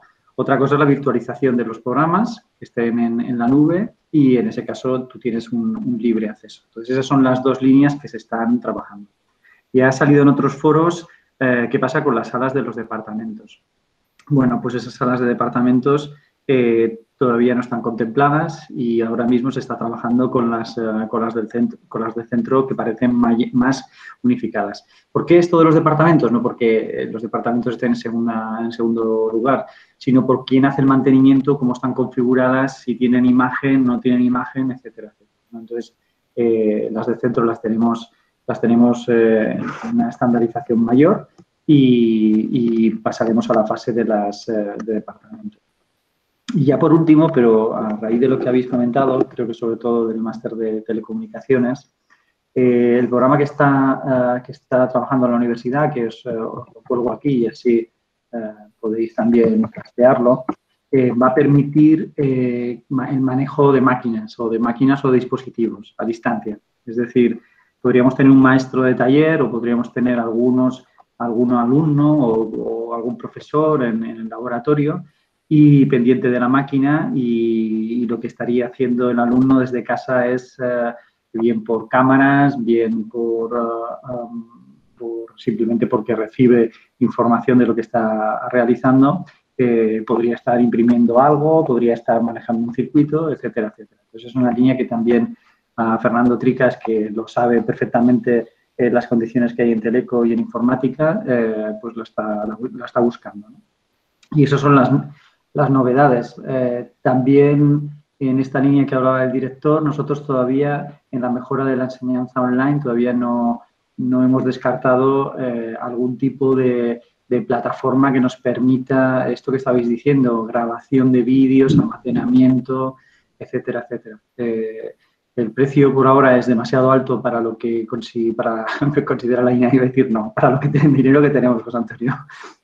para, ese, para esa para ese, para ese digamos, capital, pero muchas de las cosas eh, que habéis visto en, YouTube, que se han subido, que tienen distinto, bueno, hemos hecho todos un esfuerzo por no pensar qué pasa con esa privacidad, a quién pertenecen los derechos, accesos, etcétera, eh, que pertenecieran claramente a, la INA, a la universidad, que solo se pudiera entrar a aquel alumno que está matriculado, este tipo de cosas que, que yo creo que son tremendamente eh, tremendamente necesarias y seguimos este escenario. Bueno, reitero mi agradecimiento, Miguel Ángel, Maribeni, por, por la sesión que habéis montado. Gracias, gracias a los dos por, por, la intervención. No sé si hay a lo mejor alguna, aprovechando que tenemos al director, alguna pregunta muy breve de última hora acerca de los, los estudiantes, profesores. No. Bueno, si no lo hay, suele ser porque o no se ha entendido nada o porque ha quedado perfectamente claro, ¿no? Yo creo que es por lo segundo. o porque viene otra sesión con estudiantes en la que posiblemente se vuelvan a salir algunas cosas. Bueno, pues entonces yo creo que podemos dar por concluida esta sesión. Muchas gracias a todos los, ponentes y al moderador. La verdad es que esto es fantástico, esto va increciendo, cada vez estamos más, más contentos y más interesados en estas sesiones y estamos viendo pues que se pone sobre el tapete cosas muy, muy interesantes y, positivas también. Bueno, pues a continuación ya enlazamos con la siguiente mesa redonda, que, que es la que corresponde a la experiencia de los estudiantes de grado y que va a moderar la subdirectora de estudiantes, Raquel Trillo, que la tenemos ya aquí preparada. Voy a, voy a proyectar mientras, mientras ella habla un poco la, diapositiva correspondiente, a ver si... Es que antes me habéis tenido que recordar que pusiera a grabar y un montón de cosas. Vale. Sí, pues tienes la diapositiva, Maribeni. Sí. sí, eso estoy haciendo. Bueno, yo, yo voy, voy dando los buenos días. Buenos días a todos. En primer lugar, me gustaría agradecer a, a Maribeni la organización de estas jornadas que nos están ayudando a reflexionar y a compartir la experiencia que hemos vivido. Sin duda, todas estas reflexiones y el compartir toda, toda esta experiencia nos va a ayudar a estar mejor preparados para, para afrontar eh, el curso que viene o situaciones similares a, las que estamos viviendo. También quiero aprovechar eh, eh, la ocasión para agradecer públicamente todo el trabajo realizado por los estudiantes, especialmente por los delegados y subdelegados de las diferentes titulaciones que tenemos aquí en la INA. Eh, los estudiantes, especialmente los delegados y los subdelegados de las titulaciones y de grado y de centro, no solo han estado prestando un montón de apoyo a sus compañeros, sino que además eh, durante estos últimos meses han trabajado de forma muy intensa tanto con los coordinadores de las titulaciones como con el equipo de, la dirección, analizando diferentes propuestas y también proponiendo eh, eh, líneas de, actuación. Entonces, ya que los tenemos aquí, pues nada, eh, mi, agradecimiento para, todos ellos. En, la sesión que, tenemos ahora, pues eh, va, van a intervenir los siguientes estudiantes. Francisco de Asís La Cruz Sanz, estudiante delegado de primero del grado de Ingeniería de Tecnologías Industriales. Enrique Ruiz no, no, nos va a poder eh, acompañar, eh, pero sí estará con nosotros Raúl Cruz Oliver, delegado de segundo del grado de Ingeniería en Tecnologías Industriales, Alina Catalina Appa, que es delegada de segundo del grado de Tecnologías Industriales, pero también es la delegada de la titulación. María La, eh, delegada de tercero del grado de Tecnologías Industriales, y Víctor Mustieles Pérez, e, que es el, delegado de cuarto del grado de Ingeniería de Tecnologías y Servicios de la Telecomunicación. Pues si os parece, eh, comenzamos con Francisco, con Fran. Eh, cuando, cuando quieras, Fran. Eh, por favor, lo que os pediría es que nos ciñamos un poco a los 5 o 10 minutos que tenemos para cada uno de vosotros para que después podamos tener debate entre todos. Fran, no sé si estás por ahí.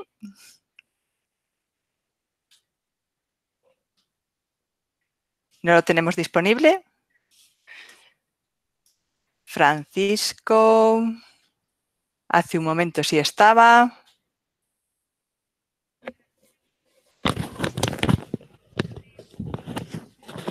No sé si me estáis escuchando. ¿Me estáis escuchando? Sí, Raquel, ah, vale, vale. Pero como nadie me decía nada, pensaba, pensaba que estaba hablando sola. Vale, eh, pues si no está Francisco, pues podemos empezar por, por Raúl. Raúl, hace un momentito también estaba aquí. Hola, buenos días. Buenos días, Raúl. Pues cuando quieras. Un momentín. Eh,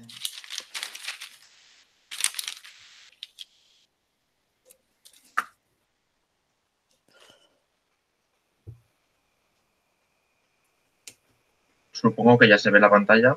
Sí, sí. esto se pone Ahora. Bueno, pues ya me han presentado. Eh, soy estudiante de segundo curso del grado de, industriales, pero aunque hablé yo, eh, hablo por las dos delegadas que, que no están aquí. Somos tres grupos en segundo y hemos trabajado totalmente coordinados y aunque la asignatura no fuera la que nos correspondía, ayudábamos al que, al que le tocaba. hemos, trabajado tres, tres a una. El DAFO tampoco lo quería comentar mucho porque después lo, lo desgrano. Si alguien quiere echar un vistazo en lo que suban después, estará disponible. Bueno, em, empecemos. Se han hecho cosas bien, cosas muy bien y cosas no tan bien. Cosas que se han hecho muy bien, creemos nosotros, estas dos.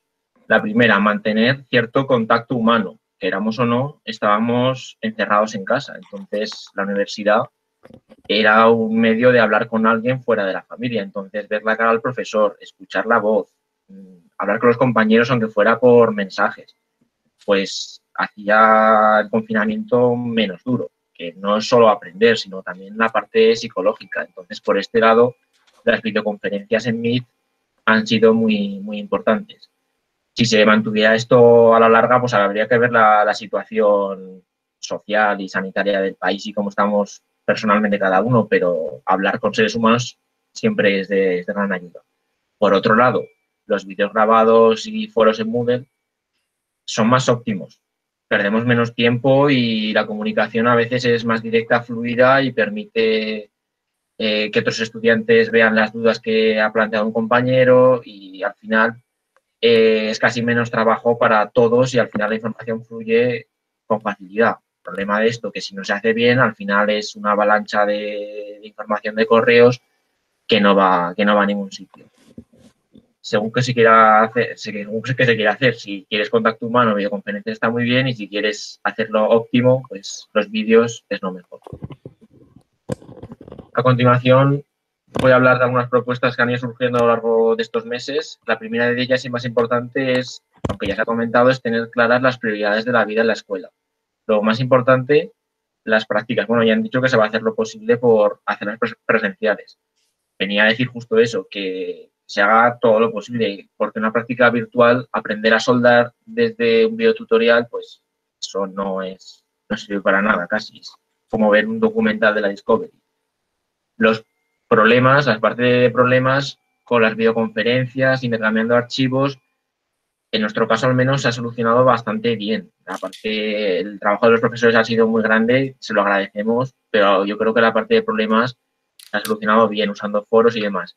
Y la teoría encontramos que es el menor de los problemas. Con vídeos, con buena documentación, al final se puede salvar sin, sin mucho problema. Fomentar la, la continua, el siguiente punto. Es una idea muy bonita, pero a la hora de hacerlo no es tan fácil. Nuestra propuesta, hacer algo similar a lo que nos han, lo que nos han hecho en dibujo. Eh, ayer comentaba la mente pensante de esto, cómo, cómo lo han hecho. El trabajo era demasiado grande y valía demasiado poco, pero hacer trabajos en esa línea. Eh, ese trabajo estaba muy bien concebido, eran todos trabajos iguales, pero con una variación para cada grupo y la valoración final de la nota no era solo de grupo, sino que había un porcentaje bastante importante del trabajo personal de cada uno. Entonces es lo más justo en estas situaciones nosotros creemos que lo mejor, planearlo con tiempo y que no nos pille el toro y hacerlo así. Controlar la cantidad de correos, mensajes, avisos, etcétera, que nos llega por Moodle. Durante meses, el único, el único contacto con la sociedad externa a nuestra casa ha sido un ordenador. Saturar la vía de comunicación a base de mensajes, en muchas ocasiones pues, no trascendentales, pues no es lo mejor. Entonces, desde aquí pido un control por parte de los profesores que no nos manden tanto, pero también por parte de nosotros los alumnos de que no estemos bombardeando con minucias, no son minucias, todo es importante, pero con cosas no trascendentales a, los profesores, que tengamos cuidado cuánto mandamos porque no hay otro, otro, otra vía, saturarla no es bueno. Esto porque acabado. Y la última diapositiva, bueno, ya es un poco más utópica, pero, pero la comento. Uniformizar los criterios de cómo se da la docencia y la evaluación, si no hubiera otra posibilidad, organizar todos los recursos de alguna forma. Por ejemplo, el enlace a las salas de Google, de Google Meet que no nos llegue por correo el minuto antes de la clase, que esté en un sitio publicado, organizado mm, en cada, en cada asignatura en el, en el Moodle, o, por ejemplo, que los vídeos se hagan con un formato similar o que los foros tengan un formato similar, porque al final nosotros hemos tenido cinco métodos de docencia diferentes a los que ha habido que acostumbrarse ya no solo estudiar y la situación sobrevenía para todos, sino además acostumbrarte a los métodos y a veces pues no sabías muy bien cómo hacer una parte de, algo, de cómo se manda un trabajo o cómo preguntabas al profesor. Todo al final se podía hacer porque han estado en muy buena disposición todos, pero no siempre sabías cómo hacerlo. Si no hay otra posibilidad que usar un examen global, pedimos en la medida de lo posible mantener el formato y un examen convencional con un bolígrafo y un papel, aunque luego haya que usar el móvil para escanearlo, que haya que dar más tiempo, que haya que usar datos eh, basados en el NIA, que haya que usar cualquier artimaña para que no haya plagio. Porque eso es importante, mantener la, imagen y la calidad de los estudios que tenemos. Si al final todo el mundo puede copiar, esto no vale para nada. Sobre todo olvidarnos de los tres, los tres con, reloj. Un minuto y pico por pregunta y muchísimas opciones que haya que pensar. Cuando el objetivo es quitar tiempo para que no copiemos, eso nunca es la solución, porque al final no puedes resolver el 100% del examen y el que el que ha trabajado durante, durante el tiempo, pues, pues, es injusto para él, porque si solo puede resolver el 70% del examen, pues es como si tirara tres puntos a, la basura y nos ha costado mucho, trabajo estudiar.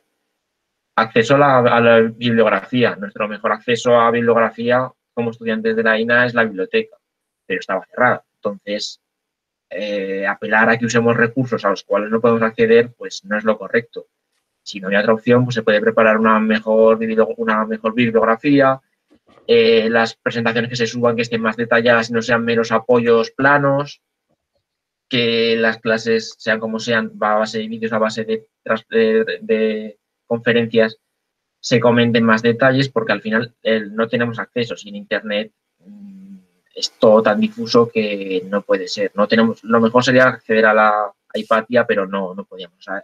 tengamos en cuenta que está cerrado todo y para todos. Y por último, ya se ha comentado que las tutorías a distancia son un gran acierto, son más óptimas, nos hacen invertir menos tiempo a estudiantes y profesores siempre y cuando la comunicación pueda, pueda existir. Hay veces, sobre todo las partes gráficas, cuando hay que comentar cosas en dibujos o que haya mucho feedback muy rápido, no es fácil. Pero para preguntar dudas muy concretas de, pues, eh, este apartado, cómo se hacía, esas cosas a distancia son mucho más óptimas. Y bueno, ya quiero, ya acabo aquí. Muchas gracias a los organizadores de, las jornadas, porque tener un foro donde mostrar nuestra experiencia como estudiantes, pues es muy importante. Porque los estudiantes somos parte de la escuela y sin nosotros tampoco funcionaría todo esto.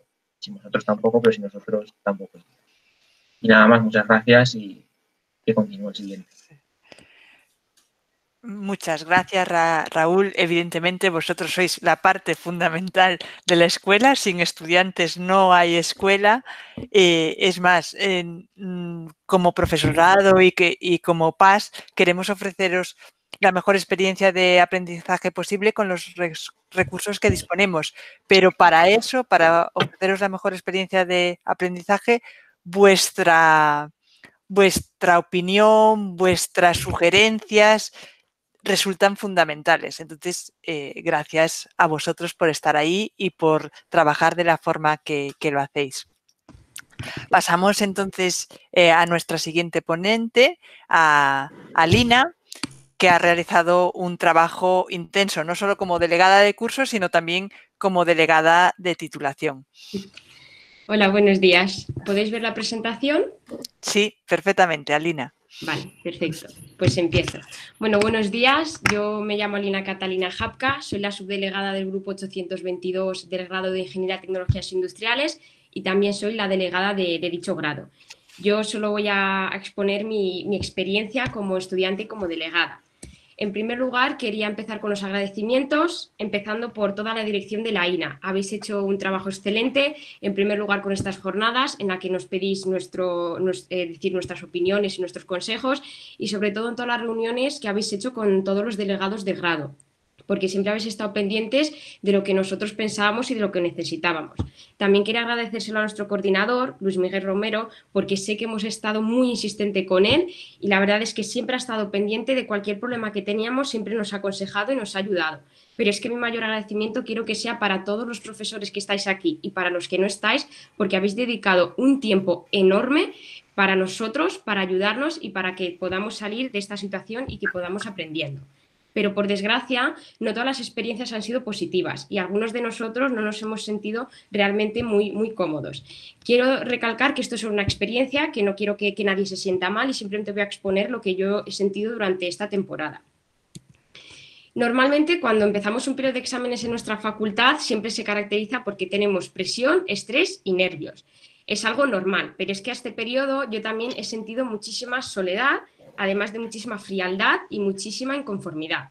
Muchos de nosotros cuando elegimos la carrera ya somos completamente conscientes de lo que nos enfrentamos. Sabemos que ingeniería es muy complicado, que es una carrera de fondo y que tenemos unas competencias específicas que tenemos que adquirir a lo largo del grado y que también tenemos unas competencias transversales.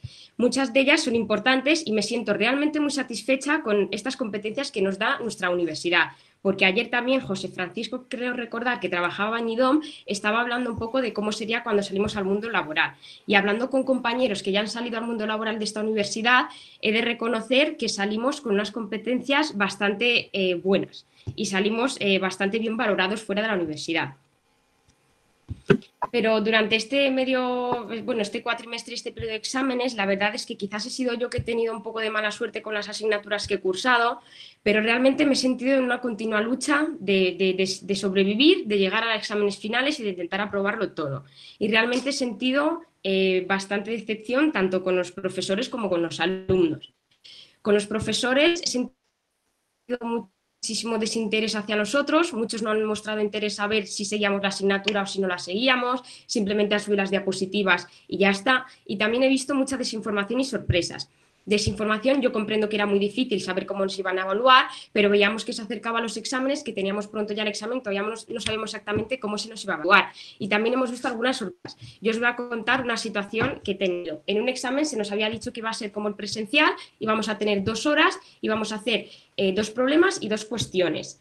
Y bueno, tú te organizas en función de la dificultad que tiene el problema las cuestiones, te organizas en un tiempo. Y resulta que la misma hora a la que empezaba el examen, si nos colgó un PDF, teníamos cinco minutos para leerlo, en el cual nos decían que íbamos a tener media hora para cada problema, subíamos el PDF, media hora para el otro problema, subíamos el PDF y ya las cuestiones. Entonces eso, en, justo a la hora en la que empieza el examen, realmente genera mucha ansiedad para los alumnos. Pero es que por otro lado también he visto ciertas actitudes que no me han gustado de muchos de los estudiantes. Por un lado, he recibido un montonazo de quejas que realmente no, tendrían que ser quejas. Creo que tenemos que buscar un punto intermedio en derechos y en los deberes que tenemos tanto los profesores como los estudiantes.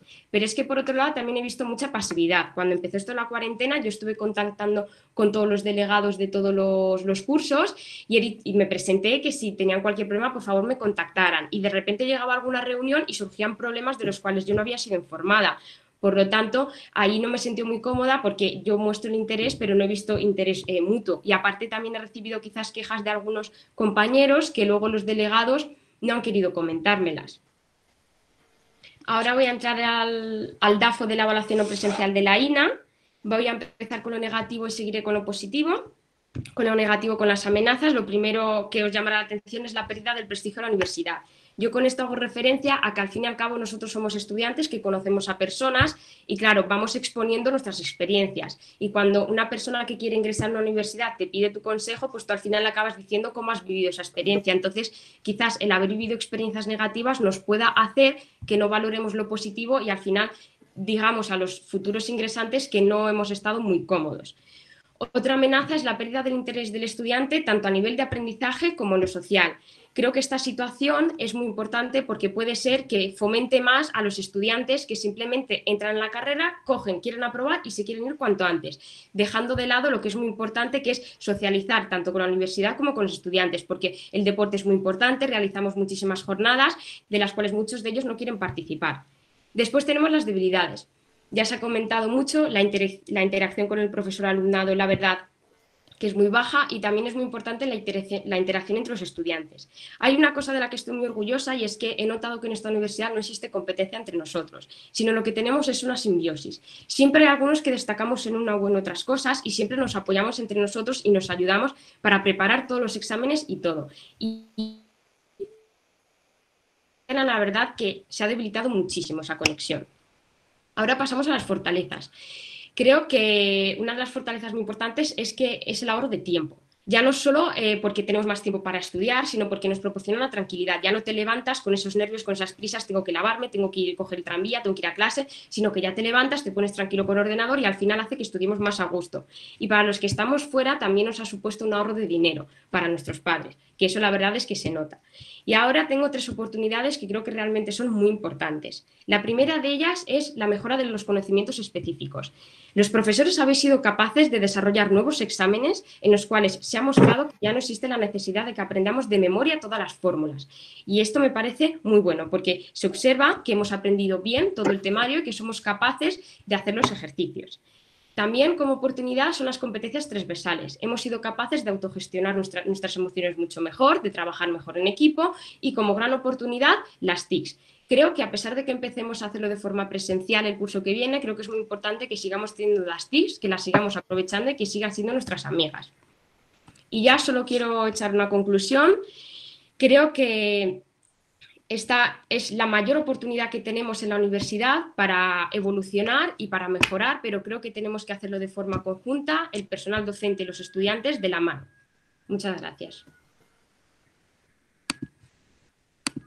Muchas gracias, Alina como siempre, no, nos das muchos puntos para reflexionar y además eres eh, una persona realmente proactiva. Entonces eso se agradece y redunda en beneficio tanto de los estudiantes como de toda, de toda la comunidad. Pasamos entonces a nuestro tercer ponente, Ismael Andrés Gaspar, delegado de primero de el grado de Ingeniería Mecánica. Andrés. Raquel, Ismael, eh, Ismael creo que es el que, el que iba a fallar. Creo que te lo he ah, indicado esta mañana. bueno, tenía apuntado Enrique Ruiz Flores, el que iba a mm. fallar. Pues te lo he dicho, pues si te he dicho eso, te lo he dicho al revés. es Ismael el que falla y Enrique no, no me ha dicho que no, no fallara. Creo que pues está por ahí. Pues si Enrique está disponible, entonces pasamos a Enrique Ruiz Flores, delegado del grado de, de tercero de, del grado de Ingeniería Informática. Enrique, ¿estás por ahí? Mm, pues no lo veo tampoco. Tampoco, bueno, pues no pasa absolutamente nada. Tenemos estudiantes. No sé si hay gente con problemas para entrar, porque ya me han escrito dos personas que ayer entraron sin problema y que hoy no están, no se les está dando permiso, pero a mí no me sale ningún, ningún aviso de, solicitud como, como, pasaba ayer. No sé si es que está pasando algo y no pueden entrar. Si alguno podéis contactar con ellos, les avisáis. Bueno, pues que... Vale, pues pasamos a María, María Laurroba Cebrián, delegada de tercero del grado de Ingeniería de Tecnologías Industriales. María, ¿estás? Mm, a ver, en pues en la lista de asistentes tampoco, tampoco la veo.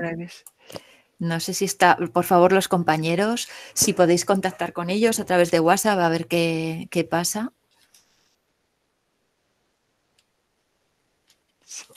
Bueno, todavía tenemos pendiente a Francisco de Asís la, la Cruz Sanz, que antes estaba conectado, pero se desconectó y no sé si se ha vuelto a conectar. Francisco, yo no lo veo, pero igual si estás, si está, podemos darle la, palabra a él. Mm, yo en la lista tampoco lo veo. No, pues entonces no se ha vuelto a conectar. Bueno, pues pasamos a nuestro último ponente, a ver si tenemos eh, más suerte. Víctor Mustieles Pérez, cuando quieras, que estudiante de Sí, cuarto. Víctor. Sí, Víctor, Víctor sí que está. Sí, yo sí que estoy. Sí, pues adelante, Vale. Víctor. Víctor es estudiante delegado de cuarto del grado de Ingeniería en Tecnologías y Servicios de Telecomunicación.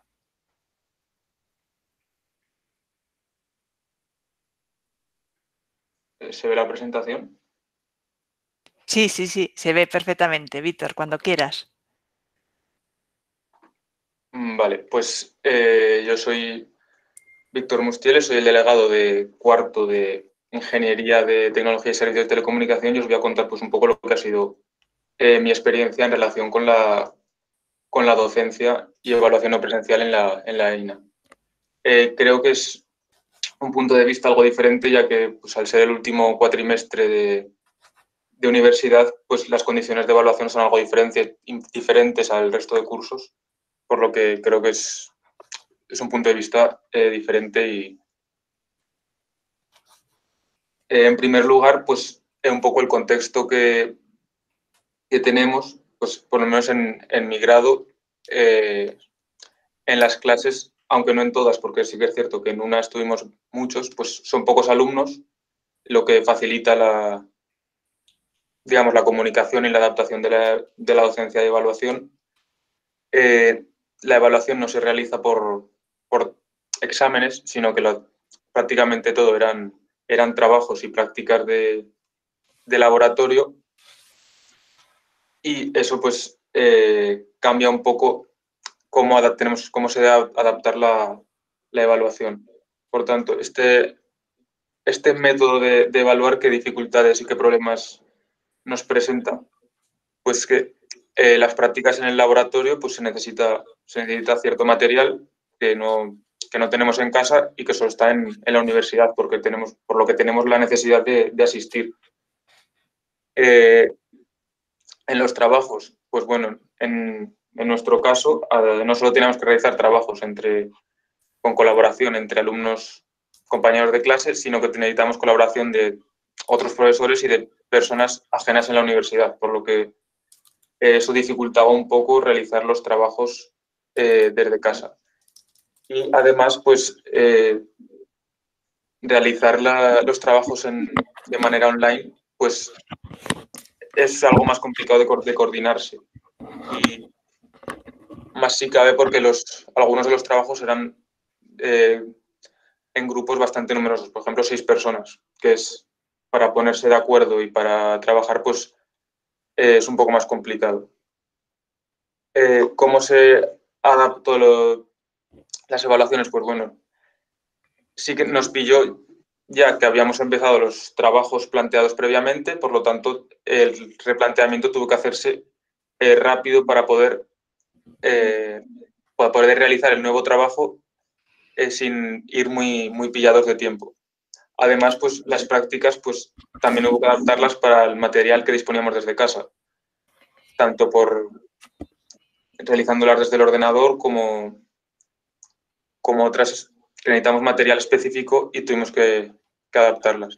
Y además, pues como es lógico, todas las exposiciones de, de los trabajos, las defensas, pasaron a ser por videoconferencia. Esto, pues, en, ¿qué resultado nos produjo? En general fueron, fueron buenos, por tanto por parte de, de profesores como por parte de alumnos, por lo que cabe felicitar a tanto a profesores como a mis compañeros por la parte que nos toca. Eh, se consiguieron los objetivos propuestos para asignaturas, por lo tanto, eh, es bueno también. Y eh, en este punto me gustaría plantear una cuestión y es si deberíamos mantener algunas presentaciones por videoconferencia, aunque, la docencia sea presencial. ¿Y esto por qué?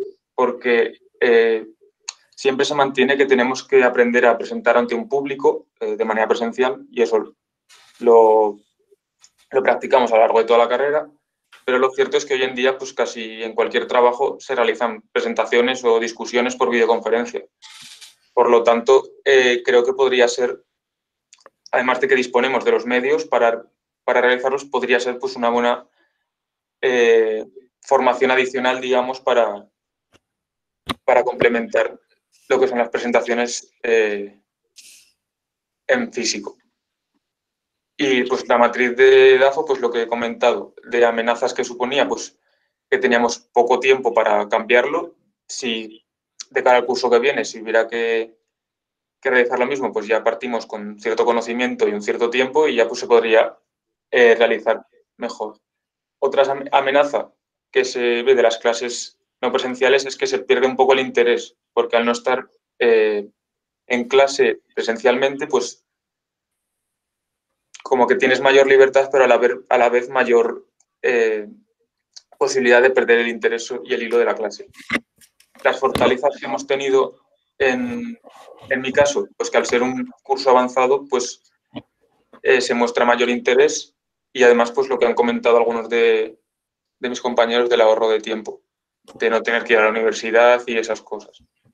Aunque sí que es verdad que a veces algunas de las actividades propuestas a distancia eh, ocupaban más tiempo del, del que hubieran ocupado de manera presencial. Entonces eso yo creo que es un punto también a corregir de cara a si tiene que volverse a repetir en los cursos siguientes. Y luego, pues debilidades es la imposibilidad de aprovechar el material del que dispone la universidad en los laboratorios. Eso es obvio porque desde casa no se puede aprovechar. Y oportunidades, pues lo que he comentado también, eh, oportunidad para aprender a trabajar a distancia y eso pues supone la adquisición de nuevas competencias eh, muy importantes, yo creo, de cara al futuro.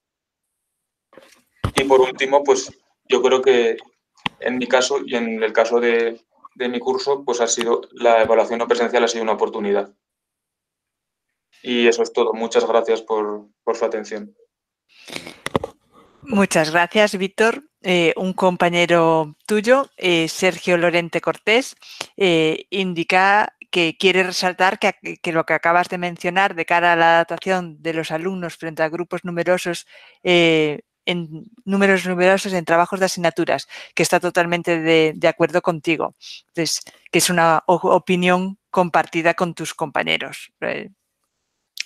Em, asumo que, bueno, por lo que he visto en, la lista de asistentes, eh, mm, Francisco de Asís La Cruz Sanz, Raúl Cruz, eh, perdón, Enrique Ruiz Flores y em, María Larrouba Cebrián e Ismael Andrés Gaspar continúan sin estar por aquí o han tenido algún problema.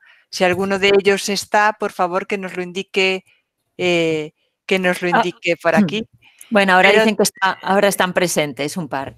Y María, María también eh, quiere, quiere, intervenir, María Miedes. Sí. Y pues eso, no, que ha dicho presente un NIA, un número de identificación de alumno, pero no, no sabemos quién es. Si es alguno de los tres que faltan, por favor, pues abrís el micro y lo, indicáis. Y si no, pues que hable. Sí, es Francisco, es Francisco. de acuerdo. Pues Francisco, delegado de primero del grado de Ingeniería de Tecnologías Industriales, eh, cuando quieras puedes compartir la, presentación para, intervenir.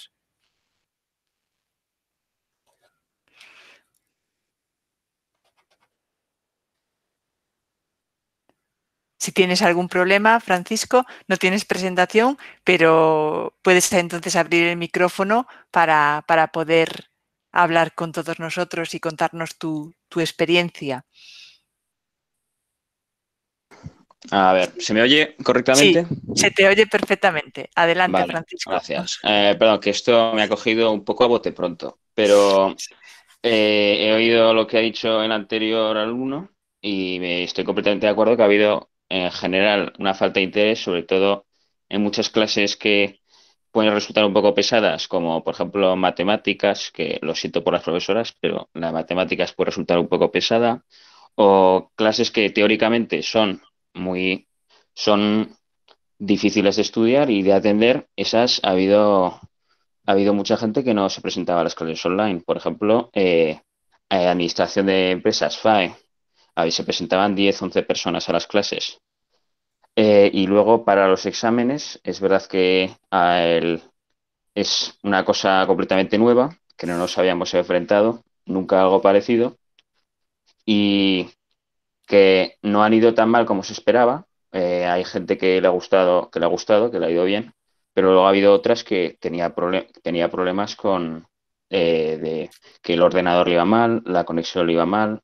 Vamos, eh, que tienes, tienes de todo, pero en general que hay un, ha habido una falta de interés y lo mismo que ha dicho el otro alumno, la verdad, nada más que añadir.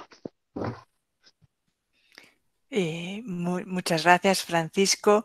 Em, em, vamos, dejamos el debate un poco para el final eh, y ahora le damos eh, paso a María Miedes. María Miedes, delegada de la Escuela de Ingeniería y Arquitectura de nuestra escuela. María. Gracias. Cuando quieras. Vale, a ver, que, que, yo sí voy a presentar, bueno, un DAFO así como el que han presentado todos. A ver si...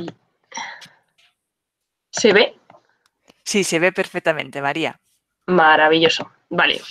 Bueno, yo la verdad que agradecer a mis compañeros porque creo que más o menos lo que son comentarios concretos de cómo ha ido este curso y su experiencia personal lo han comentado todo perfectamente. Yo voy a comentar más de cara al curso que viene, porque también este curso ha sido raro, que solo he tenido el TFG y una asignatura. Entonces, los casos concretos desde mi perspectiva tampoco tengo mucho que comentar, pero sí desde la perspectiva de que he tratado pues, con todos mis compañeros, con dirección, coordinadores, profesores, entonces un poco comentarios a nivel global de lo que creo que nos enfrentamos al año que viene a la hora de, planificar ahora cómo va a ser todo.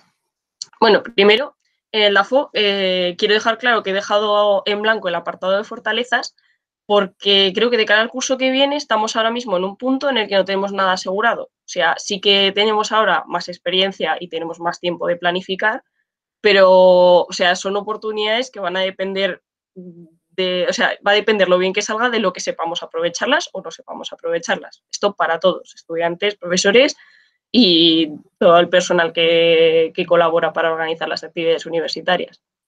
Entonces, eso, que lo que ahora aprovechemos serán las fortalezas que tengamos de cada curso que viene. En el campo de las oportunidades he situado las principales virtudes de la formación a distancia, que es lo que yo creo que nos tendríamos que enfocar a desarrollar, que son pues la compatibilidad con otras obligaciones, los costes asociados de desplazamientos y demás, el tiempo de desplazamientos, eh, la organización, que podemos ir más a nuestro ritmo. Y eso, que creo que de momento, como no es una, o sea, no vamos a tener una formación puramente a distancia, pero tampoco tenemos asegurado que vayamos a tener una formación presencial, pues son cosas que no tenemos aseguradas. Hemos tenido asignaturas este último cuatrimestre que no han sabido explotar ninguna de estas ventajas y otras que sí que con una inversión de trabajo que se agradece muchísimo, pues han sabido sacarle un rendimiento tremendo. Entonces, creo que por parte de todos necesitamos actitudes encaminadas a, construir sobre la situación que vamos a tener, a aprovechar las ventajas que se nos, se nos presentan. Entonces, eso, un poco dejar de aferrarnos a los métodos existentes hasta ahora y tratar de, de, verdad, de hacer algo innovador. Además, también he añadido las dos últimas de más variedad de oferta y eh, la, ya que con medios telemáticos creo que se pueden fomentar nuevas iniciativas, como por ejemplo, pues si yo, por ejemplo, este curso hubiera querido asistir a clases, o sea, por ejemplo, asistir como oyente a clases de diseño inspirado, por ejemplo, que es una asignatura que yo hubiera querido asistir, pero al final, como ha pasado todo esto, luego yo también tenía unas prácticas y demás que eran bastantes horas a la semana, pues, por ejemplo, no pude asistir y si las clases hubieran sido en streaming o grabadas, igual sí que hubiera podido complementar un poco mi, mi formación con, otras cosas. Pues eso, que tenemos muchísimas asignaturas interesantes en, la escuela y aunque no queramos, por ejemplo, cursar toda una asignatura completa, igual hay contenidos que nos puedan interesar. Bueno, y además lo que digo, intentar adaptarnos y sacar el máximo rendimiento posible a la situación que tenemos. Y también eh, la garantía de calidad al final, pues en esta escuela y en esta universidad tenemos una garantía de calidad que no tienen ninguna otra de las formaciones tradicionales a distancia. O sea, si lo comparamos con otras universidades a distancia, pues al final el prestigio que tienen no, no, es el mismo. Entonces yo creo que pues si nos sabemos adaptar podemos conseguir las dos cosas. Tener esa garantía de calidad que ya tenemos y a la vez ser flexibles y sacarle todo el partido a la formación a distancia. Por la parte de las amenazas, eh, todos vamos a necesitar mucha capacidad de adaptación al cambio y bueno, eso es así porque yo creo por lo menos que no vamos a poder realizar todo el curso presencial. No sé cómo se va a realizar, pero de todas formas vamos a tener que adaptarnos, ya sea en la universidad o en nuestra vida diaria. Y también que cuanto más se planifique esto, más fácil va a ser adaptarnos, porque al final, si ya sabemos un poco si se da esta situación, cómo vamos a tener que actuar, luego es más fácil. Si ya te has mentalizado, es más fácil adaptarse y saber un poco cómo desarrollar todas tus actividades. Y por la parte de las debilidades, eh, he añadido aquellas que suponen una desventaja en general desde hace años en la formación online y que creo que también tenemos que centrarnos en ellas a la hora de, de, pues de desarrollar la planificación para, para, el curso que viene, que serían pues disciplina y constancia por parte de los estudiantes, que es más solitario y pues reforzar el diálogo, que se ha comentado también mucho en estas jornadas. Y pues eso, adaptarnos también a los medios tecnológicos, ya sea adquirirlos en algunos casos o aprender a utilizarlos, que también nos está ocurriendo a muchos. Y bueno, esto sería toda mi intervención. Muchas gracias. Muy bien, muchísimas gracias María. Pues si os parece, pasamos ahora a un turno de debate. Si alguien quiere intervenir, que pida la, palabra a través del chat y, le damos paso. Yo, Jorge Rosell quiere intervenir. Pues cuando quieras, Jorge.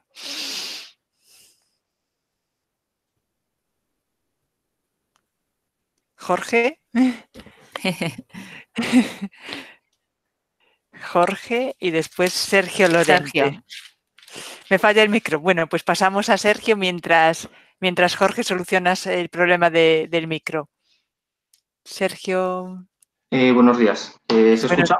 Sí, se escucha perfectamente. Sergio, adelante. yo tenía preparado bueno, una idea que era la que un compañero pues, de cuarto delegado había comentado y era pues hacer un comentario sobre los trabajos de asignaturas. Eh, en este caso, pues se tiene que fomentar el trabajo en grupo ya que es necesario y educativo. Pero creo que durante este periodo de excepcionalidad, en los grupos grandes, ha brillado el poco compañerismo por parte de algunos. Por experiencia personal, en las tres asignaturas donde he tenido un trabajo grupal de más de tres personas, siempre ha habido poca comunicación y poco interés por crear y ayudar en la planificación del mismo. Es más, las dos asignaturas donde había un trabajo individual eh, se obtuvieron eh, mejores calificaciones y creo que de esta manera se ve mucho más reflejado el trabajo y el esfuerzo de cada alumno en la asignatura. también hacer el, comentario de que de cara a estos próximos cuatrimestres, que son un poco pues una incógnita, en grupos reducidos de dos o tres personas, eh, creo que la comunicación podría ser mucho mejor y a las personas que son trabajadoras se les podría beneficiar. Primero, optimizando las horas de trabajo y estudio, es decir, no invertir tiempo en el trabajo que otros deberían haber invertido. Y segundo, una mayor visibilidad del estudiante con ganas de aprender y trabajador. Simplemente quería dejar esa idea. Eh, muchas gracias, Sergio. Bueno, eh, trabajar en grupos grandes, pues siempre, siempre es difícil porque necesitamos coordinarnos más personas. Em, entonces, siempre, siempre es complejo. Eh, para evitar esos posibles casos que, pueden surgir, ¿no? de que pueda haber algún jeta o alguna eh, persona que, no se implique tanto como debería eh, en el trabajo, también está la opción de que vosotros mismos configuréis vuestro propio grupo, que os conocéis mucho entre vosotros y sabéis quién va a darlo todo en el trabajo o quién se va a quedar un poco más atrás y no va a colaborar todo, tanto. Por otro lado, yo creo que a veces eh, en los grupos grandes hay personas que se quedan un poco atrás porque no saben a lo mejor cómo intervenir. Entonces, los que tenéis más iniciativa o más habilidades, podéis tratar de, guiarlos un, poco, ¿no? Eh, en general, creo que nadie se quiere sentir el lastre para el grupo. Entonces, esas personas igual necesitan un, poquito de apoyo de los demás y esto va a pasar tanto en, las actividades académicas como cuando, cuando salgáis al mundo profesional. Entonces puede ser una oportunidad eh, para, desarrollar esas habilidades entre todos vosotros. Está pidiendo mm, en estos momentos la palabra Luis. Luis, te, damos paso y Jorge, cuando estés disponible nos avisas. Hola, buenos días. Eh, ¿Me oís? Sí. Vale, perfecto. Perfecto, buenos días a todos. En, primer lugar, eso, quería agradeceros las charlas porque la verdad que, están siendo muy, muy productivas y, con, un montón de, buena información para, todo el mundo.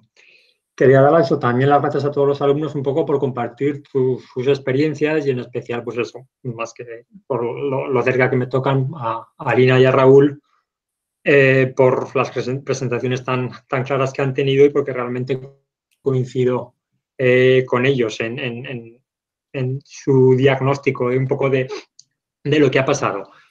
Yo lo que he visto desde la parte de coordinación que me toca, pues que ha habido los principales pequeños inconvenientes que ha habido o que, yo he detectado así estaban centrados en la evaluación.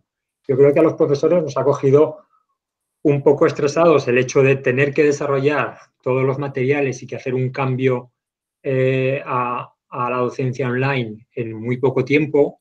Y yo creo que se ha trabajado muchísimo por parte de la, gran mayoría de, los docentes. Y, a la hora de hacer las evaluaciones, posiblemente por, ese estrés o lo que sea, está, hemos estado muy centrados, y me incluyo yo, en, en evitar eh, las copias en lugar de estar a lo mejor estar centrados más en la evaluación. ¿vale? Eh, a mí personalmente me, pues me sienta muy mal y, veo muy, muy poco justo las personas o los estudiantes que, copian y es algo que, hemos estado muy, muy preocupados. Y es lo que un poco, pues eh, viendo las presentaciones tanto de un poco de los estudiantes es una de las, de las cuestiones que también han, suscitado eh, estas eh, pequeñas quejas. Yo, no sé, la idea para, para futuro sería, pues un poco como, como ha estado diciendo Raúl, pues intentar hacer esa, esa evaluación convencional, que evidentemente dependerá de, de que nos dejen, de que nos dejen hacerla, pero la, la, evaluación eh, presencial eh, yo creo que sería la mejor con las eh, condiciones de seguridad con máximas, pero, pero tener esa evaluación presencial o incluso de cara, de cara a futuro, pues que, digamos, que los docentes vayamos pensando en, algún cambio en, la evaluación. Yo creo que si, si nos relajamos en, ese sentido, de, la evaluación, yo creo que lo grande, no hay grandes problemas. Yo creo que, como, como decía Raúl en un comentario, con, la buena voluntad de, los profesores y evidentemente también de los, de los estudiantes, que es importante y que coincido ahí también con Alina, con, con esa parte de, de cierta pasividad y de, ciertas quejas. Yo creo que las quejas han, eh, han sido mm, mm, increíblemente más grandes que en cualquier otro curso y, no estaban justificadas en la mayoría de las veces. Otras veces sí, pero la mayoría no. Eh, yo creo que, esa, que, esa, parte de las, de las evaluaciones eh, contribuiría a hacer todo como mucho más, eh, mucho más fluido. Y, eso es un poco lo que quería contar. Muchas gracias, Luismi. Eh, comentan varios de, los compañeros, eh, Manuela, eh, Ángel Fernández, que están totalmente de acuerdo contigo, que la evaluación presencial es importantísimo. Y Ana Clara, Ana Clara Pastor también lo comenta. Bueno, en general creo que la evaluación es es de lo que más nos ha costado en este proceso de adaptación y eh, coincido totalmente eh, con, vosotros en que en muchas ocasiones hemos estado preocupados de, las copias y de que no se produjeran copias en lugar de aprovechar las oportunidades y posibilidades que, nos ofrecía la tecnología o para explorar estas oportunidades y posibilidades. Nos ha pillado con, mucho, con muy poco margen de, de maniobra, pero bueno, también hemos visto que hay cosas que, funcionan bien y que podemos aprovechar y reutilizar, aunque evidentemente creo que la gran mayoría, si no todos, estamos de acuerdo en que la evaluación presencial eh, es mucho más fiable y hay que optar por ella, sería mucho mejor. Ya está disponible Jorge. Eh, entonces, eh, le damos la palabra a Jorge. Jorge, cuando, cuando quieras. Bueno, pero como Luis Miguel Romeo lo ha dicho también, pues ya no tengo nada más que decir. Eh, en realidad estoy de acuerdo, que lo, he resumido en una cosa que he puesto en el, en, el, chat, que es, eso, que al final nos hemos tenido que esforzar mucho en planificar para que los estudiantes no, no se copien y a veces hemos podido pensar menos en qué podíamos hacer para que aprendieran mejor. Bueno, me parece que el Dire ha pedido la palabra. Me callo ya. Sí. Em, bueno, pues eh, estaba, vamos a, dejar al Dire para, para el final porque antes eh, está Antonio Crespo Ramos y Alejandro Laborías, pero al Dire le, damos la palabra, evidentemente él manda, si él quiere antes, pues le, lo pasamos antes, ¿no? vale, pues Antonio Crespo Ramos, que había pedido la palabra. Sí, hola. hola, pues Antonio, cuando quieras. Buenas. Eh, como veo que me estáis escuchando perfectamente, eh, yo soy uno de los profesores asociados. Em, he estado escuchando muy atentamente las opiniones de lo que han comentado los alumnos. Me ha parecido eh, muy importante el feedback que recibimos pues para, pues para mejorar. Mm, también me ha faltado un poquito de, de autocrítica en el ejercicio que han hecho. Yo querría comenzar comentándoles a ellos que en la universidad los profesores, con nuestro mejor o peor hacer, lo que podemos hacer es eh, enseñarles únicamente una de las esferas del aprendizaje, transmitirles los conocimientos. Y en eso nos esforzamos e intentamos hacerlo todos, sin excepción, lo mejor que sabemos y lo que podemos nos ha pillado a todos a contrapié esto. Es decir, está muy bien hacer quejas y de las quejas eh, pues, pues, poco vamos a sacar de valor añadido. Yo que uno de los objetivos que tengo como asociado, que vengo de la empresa privada, es eh, intentar transmitir a todo, todo el grupo, eh, a todo el alumnado, que lo que se van a encontrar en cuanto pongan el pie fuera de la universidad es algo completamente diferente de lo que tenemos dentro. Dentro estamos en una capsulita que está muy bien, salen muy bien preparados, tienen un buen potencial, pero eh, las siguientes esferas del aprendizaje, que son conseguir destrezas y conseguir las habilidades interpersonales, eso en la universidad no podemos hacerlo. Y este momento de pandemia, este confinamiento, nos ha obligado a todos y más a ellos a salir de esa caja en la que vivimos todos muy confortablemente, yo también el primero, por supuesto, y tener que buscar soluciones a corto plazo que den respuesta a problemas que no teníamos planificado. Es que esto es la realidad del día a día en las empresas, es esto. Y cuando tenemos un problema con una máquina de inyección que no funciona o tenemos un problema con que no estamos enviando los informes a quien sea, de poco nos van a servir poner quejas o sea, tenemos que buscar soluciones. Entonces, em, un mensaje que yo querría transmitir a todos, lo digo a todos, hablo yo el primero, ¿eh? pensemos que va a estudiar bien, teleestudiando, el que ya estudia bien de manera presencial. Teletrabaja bien el que trabaja bien. Esto es así y yo lo tengo observado con los chicos con los que he podido hacerles, hacerles seguimiento. También me gustaría decir que pensemos, que penséis que muchas de las entrevistas de trabajo que vamos a hacer todos van a ser como este web chat online, pensad si los recursos que ponéis a la hora de transmitir, de proyectar vuestra imagen, de hacer una presentación que habéis hecho hoy, que hemos visto todos hoy, serían los que haríamos en el futuro. Aprovechemos estos momentos para aprender, es lo que quiero decir. Em, me voy un poco con la sensación de, o sea, os he escuchado a todos, me lo he anotado aquí clarísimamente, los dos primeros ponentes muy claros, muy concisos, han ido muy bien al tema. Eh, antes ganado los problemas, las debilidades y tal, pero ostras, em, me hubiera gustado apuntarme qué cosas podemos hacer toda la comunidad educativa mejor. Sabemos dónde están las debilidades, sabemos qué queremos priorizar, qué queremos mejorar, queremos hacer más tutorías a distancia, pero ¿qué podemos hacer cada uno de nosotros a nivel individual y qué podamos hacer mejor? Y es que esto es lo que nos va a pasar en cuanto salgamos a la empresa. ¿eh? Lo digo porque penséis que algunos tenéis ya un, pie puesto fuera. Entonces, un poco pensad en esto. Yo lo que puedo decir a nivel individual es que mi esfuerzo siempre está centrado en transmitir no solamente conocimientos, sino transmitir pues eh, la vida profesional, lo que está más allá de las paredes de la universidad, para los cuales van a salir, tenéis todos seguro una proyección envidiable de las mejores carreras que podéis tener. Pero algo más también tenéis que poner, tenemos que poner todos para que la cosa siga mejorando en momentos de incertidumbre que sin duda se van a volver a repetir de una u otra manera y que tendremos que darle respuesta. ¿Vale?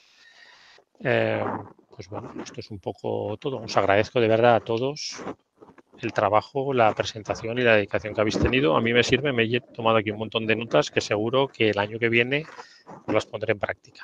Pues nada, muchas gracias. muchas gracias, Antonio. Evidentemente, eh, nosotros como profesores no solo tenemos que transmitir los conocimientos, sino que yo creo que somos eh, modelos para, los estudiantes y además con las actitudes, valores, eh, cómo nos enfrentamos al, a los problemas. La gente que nos rodea también aprende de eso y, nosotros a la vez también aprendemos de, de nuestros eh, alumnos, ¿no? Vemos cómo se enfrentan ellos, cómo se adaptan a esta incertidumbre constante que normalmente creo que a ellos en general les cuesta menos, menos que a nosotros, que están más activos y, quieren aprovechar más las oportunidades. Eh, entonces, eh, no nos vamos a centrar solo en los conocimientos, sino en las actitudes, valores y todo lo que rodea al proceso de aprendizaje, creo que, es fundamental también.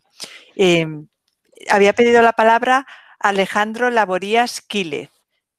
Si, si está por aquí, Alejandro, cuando quieras. Hola, soy alumno de máster, he intervenido ya en la sesión anterior, eh, pero me quería decir algo sobre eh, las decisiones que se puedan tomar en cuanto a la docencia del año que viene, que creo que habría que hacer hincapié en la importancia de las prácticas, sobre todo las de laboratorio. Eh, en mi caso no hemos tenido casi problemas porque las prácticas eran muchas con ordenador y se han podido realizar en el momento con Google Meet, no ha habido problema, pero las prácticas de, de laboratorio sí que son realmente importantes y que no se pueden abordar de ninguna manera de forma no presencial. Entonces, si de cara al año que viene eh, hay que sacrificar por motivos de seguridad la docencia de clases teóricas presencial en favor de las prácticas, yo creo que sería una buena idea. Por ejemplo, se ha comentado las clases semipresenciales, pues bueno, ha quedado claro que la docencia no presencial eh, de clases teóricas ha ido bien. Yo creo que ha ido bien en general. Entonces, si habría que sacrificar algo, sacrificaría eso en, favor de las, de las prácticas. Y luego eh, comentar simplemente eh, algo que ha salido sobre que se ha invertido mucho esfuerzo en, evitar el fraude. Y es una pena, pero, pero es verdad, es que lo han tenido que hacer porque en mi caso, en el máster, ha quedado demostrado que si se ha podido copiar, la gente ha copiado.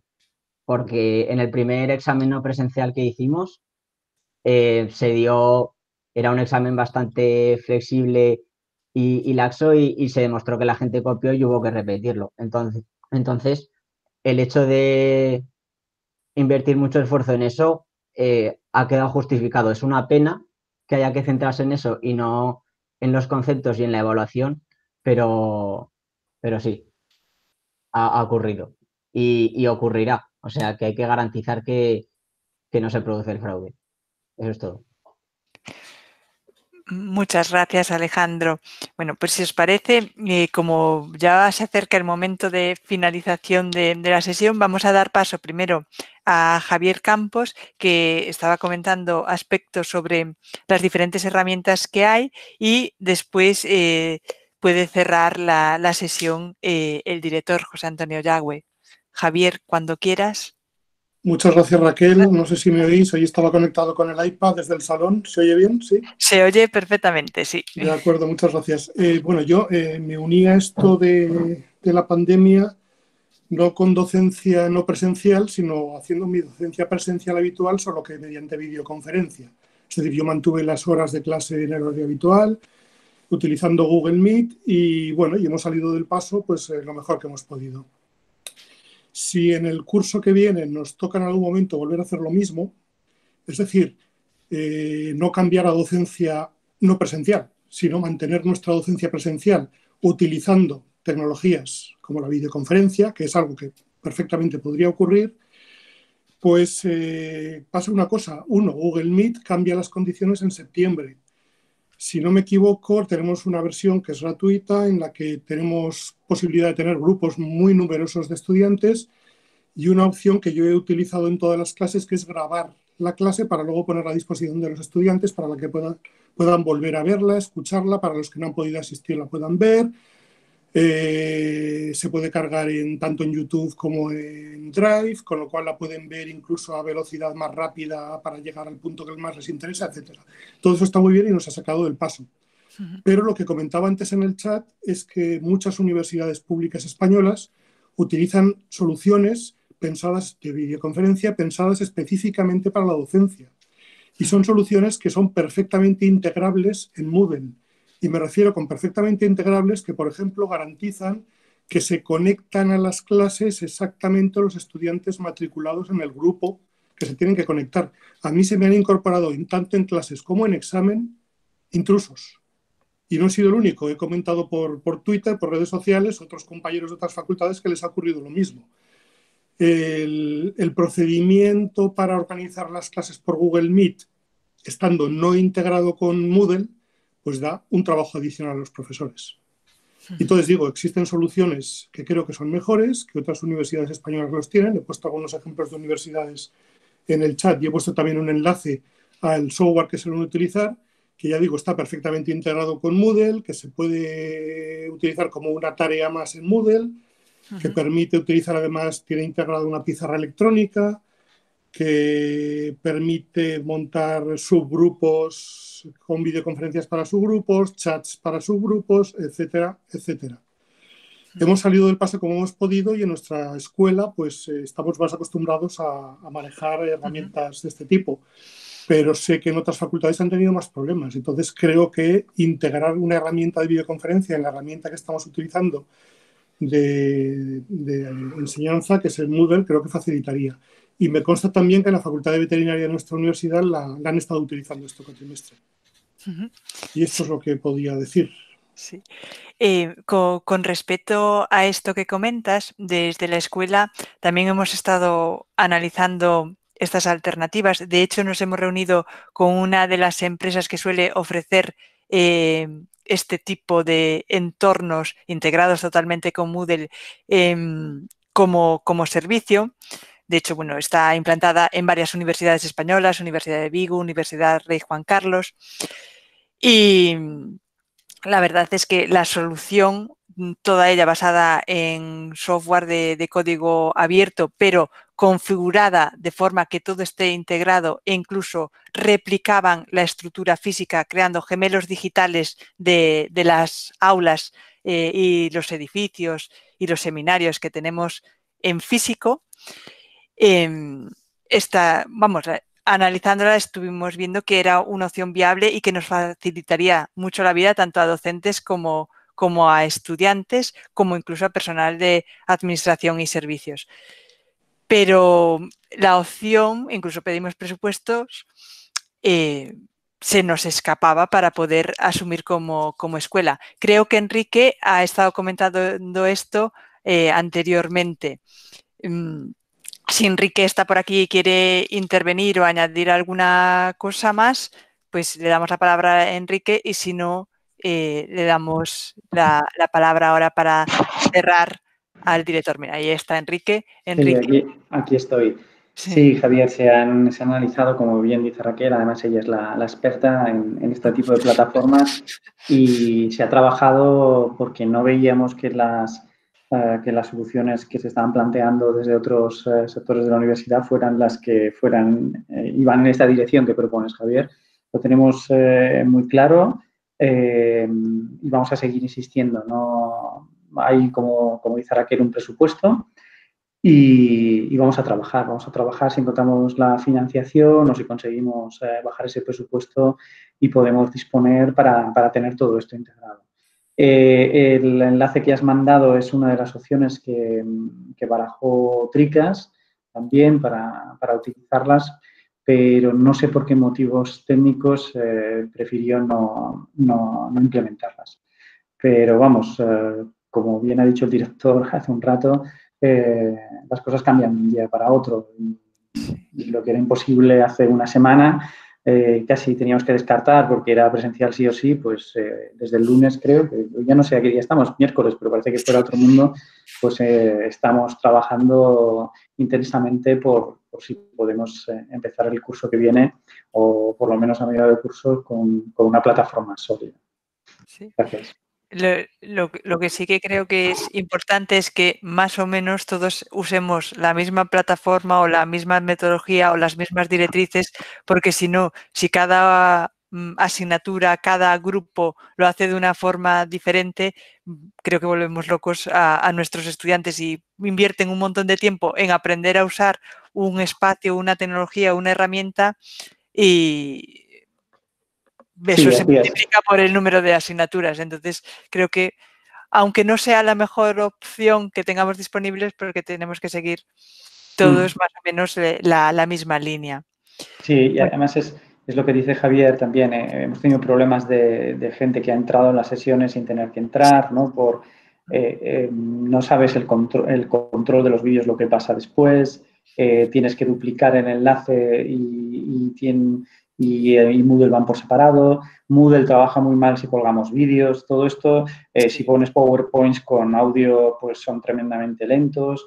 Es decir, Moodle tiene unas limitaciones y estas plataformas lo que hacen es casi, aparte del gemelo digital, que nos pareció realmente interesante, es que también pueden generar un Moodle profesor, que entonces lo que hace es eh, em, facilitarte mucho, mucho la vida como, como docente. Pero claro, para eso teníamos que tener eh, por lo menos la certeza que no fuera para un periodo cortísimo, ¿no? Es decir, que, ya fuera mayo y que ya en septiembre empezaran las cosas sí o sí presencial y que todo hubiera sido un mal sueño.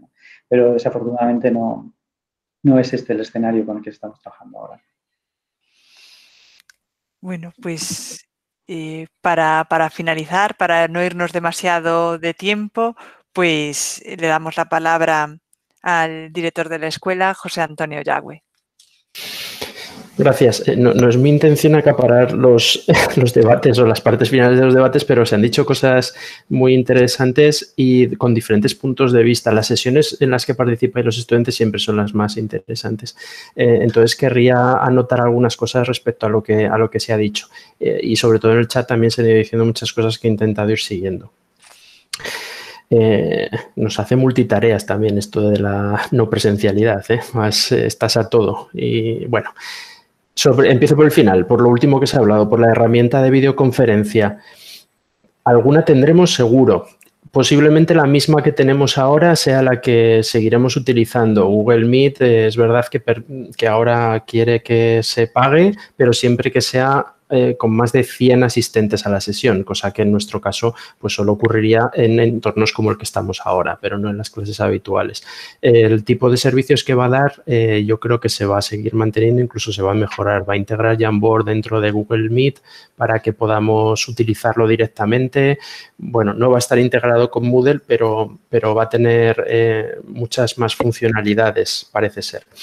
Eh, eso está dentro de G Suite, que la Universidad de Zaragoza tiene convenio con Google a través de G Suite, eh, de, esta bueno, aplicación, y eso permite el, eh, mm, los, datos, la protección de datos. Es un tema muy importante que la universidad le da mucho, mucha importancia y, y, bueno, pues el tema de protección de datos a través de Google está más o menos controlado, siempre diciendo que es Google, con lo cual no sé hasta qué punto de controlado está, pero bueno, eh, hay un convenio al menos. Si no tenemos Google Meet, eh, tendremos Microsoft Teams, eh, porque eso también tenemos acceso. Todos tienen sus pros y sus contras. tenemos una, aplicación de videoconferencia de la Universidad de Zaragoza basada en Big Blue, Button, que no utilizamos habitualmente, os lo voy a poner en el chat, pero, pero eso siempre está ahí y ese, si no me equivoco, sí que es mucho más integrable en, Moodle. Y, y, Blackboard es una solución magnífica también, yo la he estado utilizando y tiene muy buenas funcionalidades. Todas tienen sus pros y sus contras, alguna tendremos seguro y tampoco es tan difícil aprender a manejarlas, sí que creo que es bueno que tengamos una, que sea la que básicamente utilicemos. A nivel de escuela, como os decimos, estamos eh, sondeando otras opciones, pero los presupuestos, eh, que, las, ofertas que nos mandan se nos escapan de nuestro presupuesto totalmente. Eh, siempre lo hemos hecho comunicándoselo a la universidad esto, para decirles, oye, hay otras opciones tengamos un plan B por si nos vamos a online, un plan B sólido. Bueno, pues ahí seguimos sobre ello. Eso en cuanto a la herramienta, que al fin y al cabo, como digo, creo que es lo de menos, porque alguna tendremos y será suficientemente buena. Se han dicho muchas cosas, casi quiero, quiero hablar de la intervención de Antonio Crespo, eh, porque me parece muy acertada. Eh, a ver, quiero incidir en un mensaje se está hablando de fraude, se está hablando de, muchas cosas, ¿verdad? Siempre son las excepciones. En general, yo siempre lo he dicho, tanto confío plenamente en la ética de mi profesorado y de mi estudiantado, mío, permitidmelo, el de mi escuela. Salvo excepciones, claro, siempre las hay, pero es que las hay en todos los ámbitos. Lo que no podemos hacer es centrar nuestros esfuerzos en las excepciones tenemos que, eh, si lo pensáis, la mayor parte de las leyes que se, que se sacan a nivel universitario, a nivel, a todos los niveles, es pensando en esa gente que luego las incumple, o sea, por culpa de esa gente que las incumple. Bueno, pues es verdad, hay que poner unos límites, pero también hay que confiar en la actitud de las personas. Y luego, eh, bueno, veremos a ver cómo podemos poner esos límites, pero no centremos nuestro esfuerzo en ellos, en el, posible fraude, centrémoslo en los que lo van a hacer bien y, darles unas herramientas adecuadas. Mm, hay herramientas de proctoring, por ejemplo, que, sirven un poco para esa vigilancia, pero también tienen inconvenientes. En el tema de evaluación coincido con vosotros. En general se ha dicho la evaluación presencial pues eh, te da más garantías no te da todas las garantías. La gente puede copiar igual, pero bueno, estamos más acostumbrados a la presencial, sabemos controlarla mejor, te da más garantías. Ha dicho Antonio eh, cosas muy, muy interesantes y creo que es importante. A ver, el aprendizaje de cada uno eh, somos nosotros, cada uno de nosotros quien lo tiene que liderar. Los profesores, la universidad está ahí para guiarte en ese aprendizaje y darte herramientas, pero quien, quien tiene que aprender de verdad es cada uno de los estudiantes y por lo tanto la ética de ese aprendizaje también la tiene que llevar cada uno de esos estudiantes. Y luego eh, la empresa que va a valorar va a valorar tu actitud y esa actitud va a estar basada en cómo tú has guiado tu aprendizaje, en cómo lo has llevado adelante.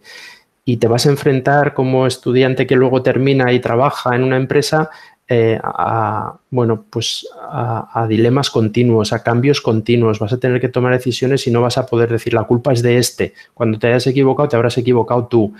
Eh, bueno, pues todo eso hay que asumirlo y hay que asumirlo desde ya. Teniendo eso claro, nosotros como universidad tenemos que poner todos nuestros medios y todo nuestro esfuerzo para dar la, el mejor, la mejor enseñanza posible y con las mejores herramientas posibles y de la manera más organizada posible. Pero nunca olvidemos esa responsabilidad personal. Esa es muy importante. Lo ha dicho Alina también, siempre interviene de manera muy clara y, y lo ha dicho perfectamente. Entonces, esas, yo creo que se hablaba también un poco de la falta de interés, creo que Francisco se refería a falta de interés de, algunos estudiantes. Esa falta de interés, pues bueno, los profesores tenemos que estar ahí también intentando motivar de cierta manera. En nuestro caso, en este semestre ha sido un poco complicado porque todo nos ha venido encima. Si ahora lo hacemos al año que viene de manera más planificada, seguro que también somos capaces de organizar actividades que enganchen un poco más al estudiante. Pero al fin y al cabo, como digo, la responsabilidad del aprendizaje es de cada uno.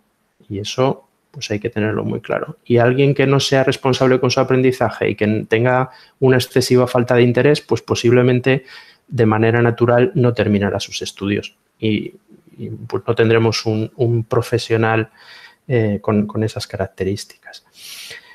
Em, se han hablado de más cosas sobre la evaluación ya he hablado, la presencial es muy importante, pero hemos aprendido muchas cosas de la continua. No sé si hemos hecho la mejor evaluación continua, posiblemente no, pero ya mejoraremos. No olvidemos la evaluación continua. Es muy buena, continua, continuada si es formativa, continua si además es evaluativa.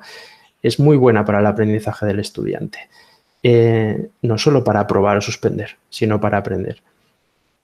Supone mucho trabajo del profesorado, eso es así. No podemos aplicar continua siempre en cualquier circunstancia posiblemente, pero no la olvidemos. Lucharemos porque haya evaluación presencial. El acuerdo de Consejo de Gobierno que se aprobó eh, habla de evaluación presencial. Veremos a ver qué se puede hacer. Pero no olvidemos la continua en los casos en los que sea razonable hacerlo. Con muchísimos estudiantes es difícil, ya lo sabemos. Se ha hablado de las sobrecargas de trabajo, pues la evaluación continua tiene ese problema también. Si no la modulas adecuadamente puede sobrecargar demasiado a los estudiantes. Ahí los coordinadores están haciendo una labor excepcional también para intentar que eso no ocurra. Y luego se ha hablado también de reorganizar la docencia a través del chat, creo que ha sido de, otra manera, ¿no? Eh, pues una docencia tal vez más en clases más grabadas que puedan, teórica, una docencia teórica en clases más grabadas que puedan ver todos los estudiantes a la vez y luego trabajar en grupos más pequeños con videoconferencia. Eh, bueno, todas esas son medidas que se pueden pensar y lo que vamos a proponer es que cada profesor lo piense, lo organice y lo organice desde ya pero, pero siempre en coordinación. El departamento tiene que estar informado, los demás profesores también, y es muy importante que los estudiantes reciban lo que tienen que recibir, las horas que tienen que recibir y el profesor de las horas que tiene que dar. Entonces ahí hay unos aspectos ya más administrativos y, creo que, esos hay que, hay, que tenerlos, hay que tenerlos muy en cuenta. Em, Em, hablan por aquí en el chat de las excepciones, eh, ¿verdad? Em, sí, y de los estudiantes de primero. Lo, he comentado antes, los estudiantes de primero se les tiene que dar un trato especial en cuanto a la presencialidad. Creo que es más importante la presencialidad para hacer un seguimiento más cercano a los estudiantes. Y en cuanto a esas excepciones, personas que no tienen ese comportamiento ético, sí, sí, hay que darles ese toque. A nivel de profesorado ya os aseguro que, se da con las herramientas que tenemos y a nivel de estudiantes también con las herramientas que tenemos. Exacto, como dice Miguel García, hay un servicio de inspección de servicios que para el nivel de profesorado aplica. Para el nivel de estudiantado, pues la normativa de la universidad es un tanto laxa, como antes ha comentado, creo que era Inmaculada en, la en una de las sesiones de la mañana, pero evidentemente no se pueden consentir esos, esos comportamientos. Y bueno, eh, confiemos en esa ética de todos nuestros eh, profesores, estudiantes y PAS, pero si detectamos algún comportamiento que no es ético, mm, pues, eh, pues no puede quedar impune, sin más. Eso está claro es una falta de respeto. Esos comportamientos no éticos son una falta de respeto brutal contra uno mismo y sobre todo contra los demás. Así que intentemos que eso no ocurra. Posiblemente os lo estoy diciendo aquí a 113 personas que no, no necesitáis que os lo diga. Posiblemente quienes necesiten oírlo no estén hoy aquí, ¿verdad? Bueno, eh, creo que eso era, eso era lo, que, lo que quería aportar. Eran reflexiones generales en voz alta, pero creo que era interesante hablar sobre, sobre algunas de ellas. Gracias. Gracias, eh, gracias a ti y en general gracias a, todos, a todos los que habéis intervenido en, esta sesión. Y sin más, damos la, la palabra a Maribeni, que hemos conseguido que podamos tener un pequeño descanso antes de la siguiente sesión. Maribeni, pues, cuando quieras. Pues muchas gracias Raquel, muchas gracias por el papel que has desempeñado ahora como moderadora, que lo has hecho fenomenal. Demuestra también la conexión tan, tan fantástica que tienes con los estudiantes y ellos contigo. Quiero agradecer también a, todos los estudiantes que han participado ahora con sus comentarios, con sus ponencias y a los que no están aquí, pero que, también pues han, participado y han aportado de, alguna manera. La verdad es que yo creo que es muy interesante todo lo que estamos diciendo, pero sobre todo quizá lo más interesante que engloba todo es el ponernos en el lugar del otro. Entonces, yo aquí sí que querría lanzar la reflexión al PDI, que pensemos que nosotros hemos pasado por donde ahora están los estudiantes, pero ellos no tienen todavía el recorrido vital que tenemos nosotros. Entonces, pues en este esfuerzo de ponernos en el lugar del otro, pues quizá nosotros tengamos una cierta ventaja sobre ellos.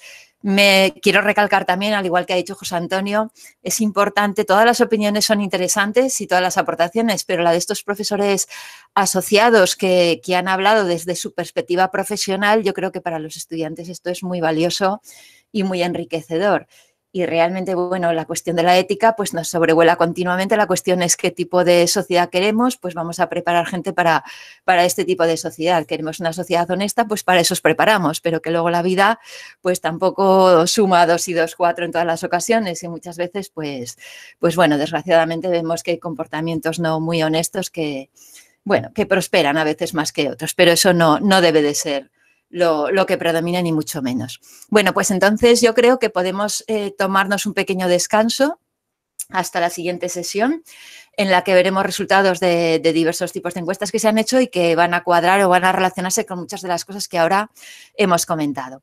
Entonces, bueno, yo creo que podemos hacer este pequeño descanso y a las 12 nos, volvemos a, a conectar. ¿Os parece? Muchas gracias a todos y nos vemos en unos minutos.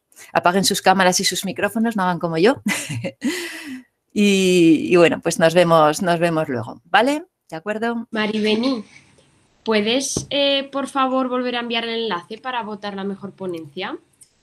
Vale, perfecto. Sí, venga, vamos a ver, espera, a ver, porque como he estado mandando tantos enlaces, porque me han transmitido varias personas que ayer se conectaron, entre ellas la defensora universitaria, que no ha podido conectarse. Yo no he sabido cómo, cómo solucionarlo. O sea que, bueno, y dejaré de grabar ahora y me acordaré de poner a grabar después. Bueno, estoy haciendo el copy. Ahora te lo pongo a Lina. ¿Vale? Yo creo que es, ¿qué es este. Ah, no, esta es la conexión a la, perdón, esa es el, eh, la conexión, disculpad, que un momentito, ¿vale? Voy a ver. A ver. Ponencias aquí. Vamos a ver si encuentro que se he puesto el link de las, de las jornadas en vez de el del No has detenido la grabación, creo. No, ahora, ahora la voy a detener. Es que Ah. ya sabes que yo no puedo hacer muchas cosas a la vez. Bueno, ni media. Con media. Vale, ahora la detengo. Maripaz, ¿eh? ¿Eras la que me has llamado?